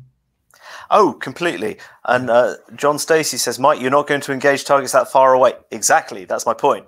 You're not going to engage targets anywhere near that far away. I mean, in this scenario, and the point I was making about the uh, effective range of conscripts giving chase, you're probably, worst case scenario, not going to be firing much over 200 or so. Yeah. simply because simply because if they're just putting fire vaguely in your direction obviously there's a chance of being hit by something by chance. Um, but you're not going to waste time stopping to return fire. You're just going to keep going. You're only going to turn around and try and give them the f off when when they're actually a problem to you which is unlikely to be much over 200 meters realistically Yeah. All right.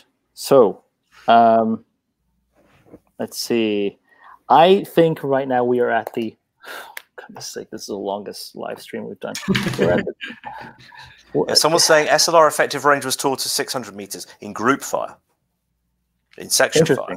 Yeah. 300, 300 in individual fire. I mean, And I'm I've, trying I've got a paper. I've got the paper manual. I could check, but it'll take me too long. Um, There we are. So what about vehicles and penetration of light cover? You're not getting vehicles across that terrain. I mean, the only vehicles you were looking at there were I mean, there were light vehicles that the Argentinians used, and of course the aircraft that you were shooting at. But it's that's not your mission. You're you're a recon element. Yep. I mean, you're not trying to plug uh, holes in things. Exactly. I mean, this is all uh, shit hits the fan stuff. Do we, if we have to do a hot exfiltration, what do we have to deal with? And I don't think vehicles come come into that in that scenario. I mean, you you've seen the ground, Marty. Are you going to drive a Land Rover over much of that? Well, you're not going to be able to, even if you could, um, you're not going to be able to drive up to where the Overwatch team was. Mm. 'Cause They, they had some elevation. They were up in the rocks. They they were above the airfield. Yeah, and then someone's pointed out a British vehicle, CVRT Scorpion. Um, There were some there, yeah. yeah. But again, this is before May So, 21st. um, the task force hasn't begun landing yet. So at at this at this moment, gents, uh, unfortunately, I've got to start uh, winding our podcast down.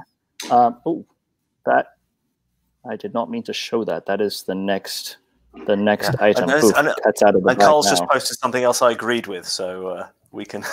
it's a good. It's a good point to segue That's out of into. the uh, bag for the next one. But before we get in- into the uh, the next uh, pick one, gents, um, wanted to ask both of you: Do you have anything else that you wanted to contribute towards? Uh, uh, you know, any final points that you wanted to talk about? I know Marty just talked about the the um, the night fighting characteristics of of the actual skirmishes. Um, was there anything that we did not cover? Yeah, well, I, I was just looking at one question that I thought I'd throw at you real quick, and the question that came from a listener that says, "Would you pick a submachine gun instead of the M16 for maximum mobility and lower report?" I think there's something to be said for considering that as a possibility. It, not for the, the mission that we've been talking about so much, but when you consider those battles in the hills around Stanley, eventually devolved into infantry action at extreme close range at night, I think there's something to be said for the subguns.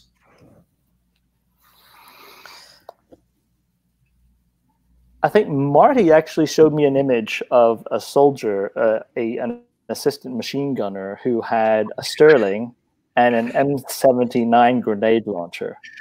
Right. It's this Imagine really running around with that combination. yeah, the cool if you find the photo, it's the it's from Goose Green. It's from the Goose Green battle on May 29th.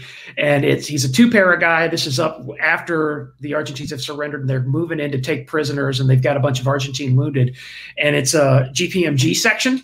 And so his his gunner is right next to him, and the, the he's got the butt of the GPMG sitting on the ground, and he's got his Sterling just slung around his neck, right around his his sternum.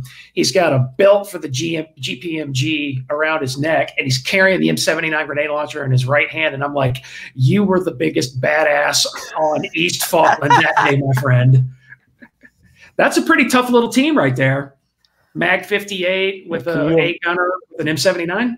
Yeah, and it, it, it flows back into the i- the That's- idea that that uh, be- by this stage the uh, the Sterling was basically a PDW for people PDW. embuggered with other things. In this case, the M79, and Right. he's also included ended up as the uh, the number two on the gun to carry ammo as well. Yeah. Right.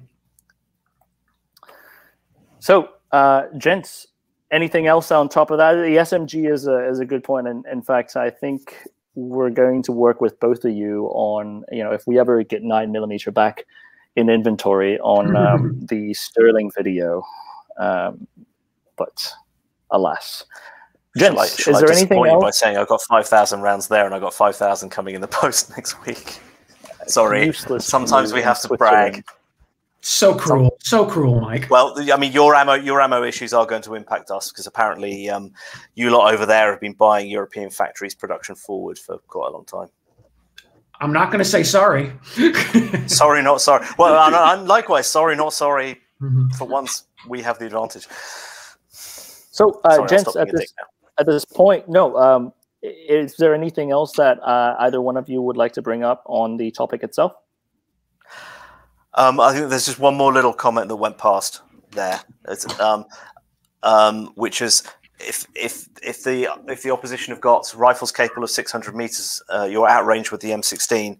Um, this is it's not a game of top trumps. You know the card game where you where you'd have like race cars or dinosaurs or or whatever, where it's a, just a game of pure statistics, because no like like using a- an iron sighted 762 rifle at 600 meters is non-trivial and is not going to happen effectively from conscripts full stop Amen. so so then the rifle might be capable of 600 but the entire system of the person with the rifle isn't anywhere near That's a really good point. so so it's not just a game of what is the theoretical effective range of this. It's what's the it's training. It's it's it's training. It's not gear. And it's something that i go on about on my channel. Karl does on InRange as well. Henry you i think you do as well. Um the the weak link in the chain is the person. It's the Yeah. human. And all the, the, i've seen things going past with it's a two minute two minute of angle rifle. It's a four minute of angle rifle. The vast majority of soldiers are worse shooters than the rifles. Yeah.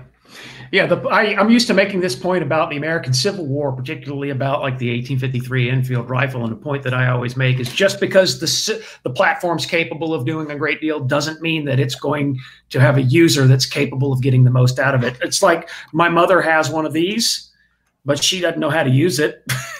just because somebody has um, an SLR doesn't mean that they're going to be putting down accurate and reliable fire against point targets at 300 meters. Exactly. Exactly. The the, Okay. the, the human is the weak link in the chain, always in these things. Okay, so um, anything else? I think that's it. It's, it is almost ten past one in the morning. This this is way. it's like four hours past my normal bedtime. That's how So- crap I am. As as we end this, I do want to thank uh, Mike from Bloke on the Range. If you haven't heard of Mike's channel, uh, please do give them a visit. Uh, Mike and uh, Mike and I, with Josh, we actually do a fair amount of collaborations. I think we've done more with you than anybody else, just sprinkled all Yeah, over think the place. Um, uh, Mike, is there anything you would like to tell us about your channel? Anything upcoming? Um, it's a mixture of gun nerdery, military history, um, just basically stuff I think's cool. Generally, I work with uh, Fabian, who is uh, known as the chap when we were being pseud- pseudonym pseudonym. Anyway, sorry, it's, it's one a.m. Well, when we were using pseudonyms, um, that didn't last long. Um, but uh, yeah, if you enjoy that kind of thing, um, please come and give us a visit. Upcoming stuff. Uh, I do a lot of Enfield nerdery and Swiss rifle nerdery, and a mixture of yeah, sport shooting, historic guns, military history, that sort of thing. And uh, if you like that kind of thing, please uh, hit us up. and I will drop a link in the description at the end of this. And Marty uh, actually runs a channel as well, um, Midway Five Twelve. That's yeah, that's my my channel. All it is is a bunch of videos of me shooting my guns. No big deal. Uh, he, it's, he doesn't say anything in many of his videos, but he does have some very interesting rifles and machine guns to show. Yeah. Yeah. Well, there's so many other great content creators out there that have a lot better things to say about the firearms than I do. Uh, it's like Mike. I'm I'm pleased to finally meet you because I've known and admired your work for a long time now. Oh, thank you. oh, you're welcome. It's a pleasure. My ple- pleasure's all mine. And I, I just kind of decided I would do nothing but videos of the guns because there are other content creators out there that are saying things better than I think I ever could. Um, so it's just lots of videos of me blazing away with sub guns and Sturmgewehrs and things like that. Oh, just Cool things, stuff, basically. things like that. Less nerd, more cool. However, right, right. Uh, remember, remember, Marty, it does work on uh, cable TV. So um, if you are, my wife and I like, we like to watch a lot of documentaries. So whenever we see Marty, we're like, ah, we know this celebrity on TV. So if you do see Marty on TV, just know that you've seen him uh, on our channel. And I'd love to have you back, Marty, on a dedicated pick one and perhaps at that point, Mike will give a, an- a secondary uh, consideration on uh, uh, whatever scenario we pick. If you would come back. I would love to. I, I enjoy the channel and I enjoy being a part of it. And I appreciate the invitation to be a part of this discussion. No offense to Josh, but I enjoyed filling in for him. Well, we, it was great having you, and thank you for the first-hand information on the Falkland Islands and the Yeah, that was Um, fantastic. the Argentinian forces. Now, before we go, I'd like to tease the next scenario, which I unfortunately have accidentally already teased. The next scenario. I think we still have InRange in the comments section. I hope. Do we? Regardless, the next scenario is a very is a very fictional scenario, and anyone who is familiar with the Fallout franchise of video games will know uh, the uh, Fallout Boy, and um, anyone who knows our type of content will know that we've actually worked with Karl in the past as well. So the next live discussion is going to be a post-apocalyptic world, and your choices are going to be between a surplus bolt action rifle with a three and a half by scope or a four by scope, and a 22 suppressed pistol, or a Kalashnikov type rifle with iron sights. Now, part of this, and we'll publish a challenge in the mid-month timeframe, will be tied to InRange's um, two-gun action challenge match. There will be a stage that is uh, this pick one scenario, and there will be a challenge for everyone at home to take uh, to take it to your range and film and, and tag your own video to it. However, we will drop this scenario a little bit later in the month of April. So uh, look look ahead to that and uh, look out for that scenario drop. So, anyways, gents, we are at the end of our live session broadcast. Um, I'll ask is is there anything else that you have that you would like to talk to the audience about or tell the audience? Subscribe to his Patreon. Patreon, if you haven't already done so. Yeah. Thank you. I was the first, so I'm leading by, by example. Well, gents, again, thank you for uh, taking your time, uh, Mike. Bonsoir. Pleasure. Thank you for having me. Everybody out there, take care. Have a good weekend. Have a good evening, and we will see you on the range. 716 is Steel Knight 6, 4 Vic, 8 packs, Redcon 1, green to green. How copy over? Steel Knight 6, this is 716, roger, over. 16, Steel Knight 1, 1 pack, green, green, over. This is 716, roger, over. Pacific, Steel Knight 2, 1 Victor, 2 Recon 1, over. I'm Sure. so knackered. I bet you are. It's super late for you. Are we still live? Are we? It says It we are still. coming. Hey, everybody. Is there anything else we should talk about? Sleepers of the week.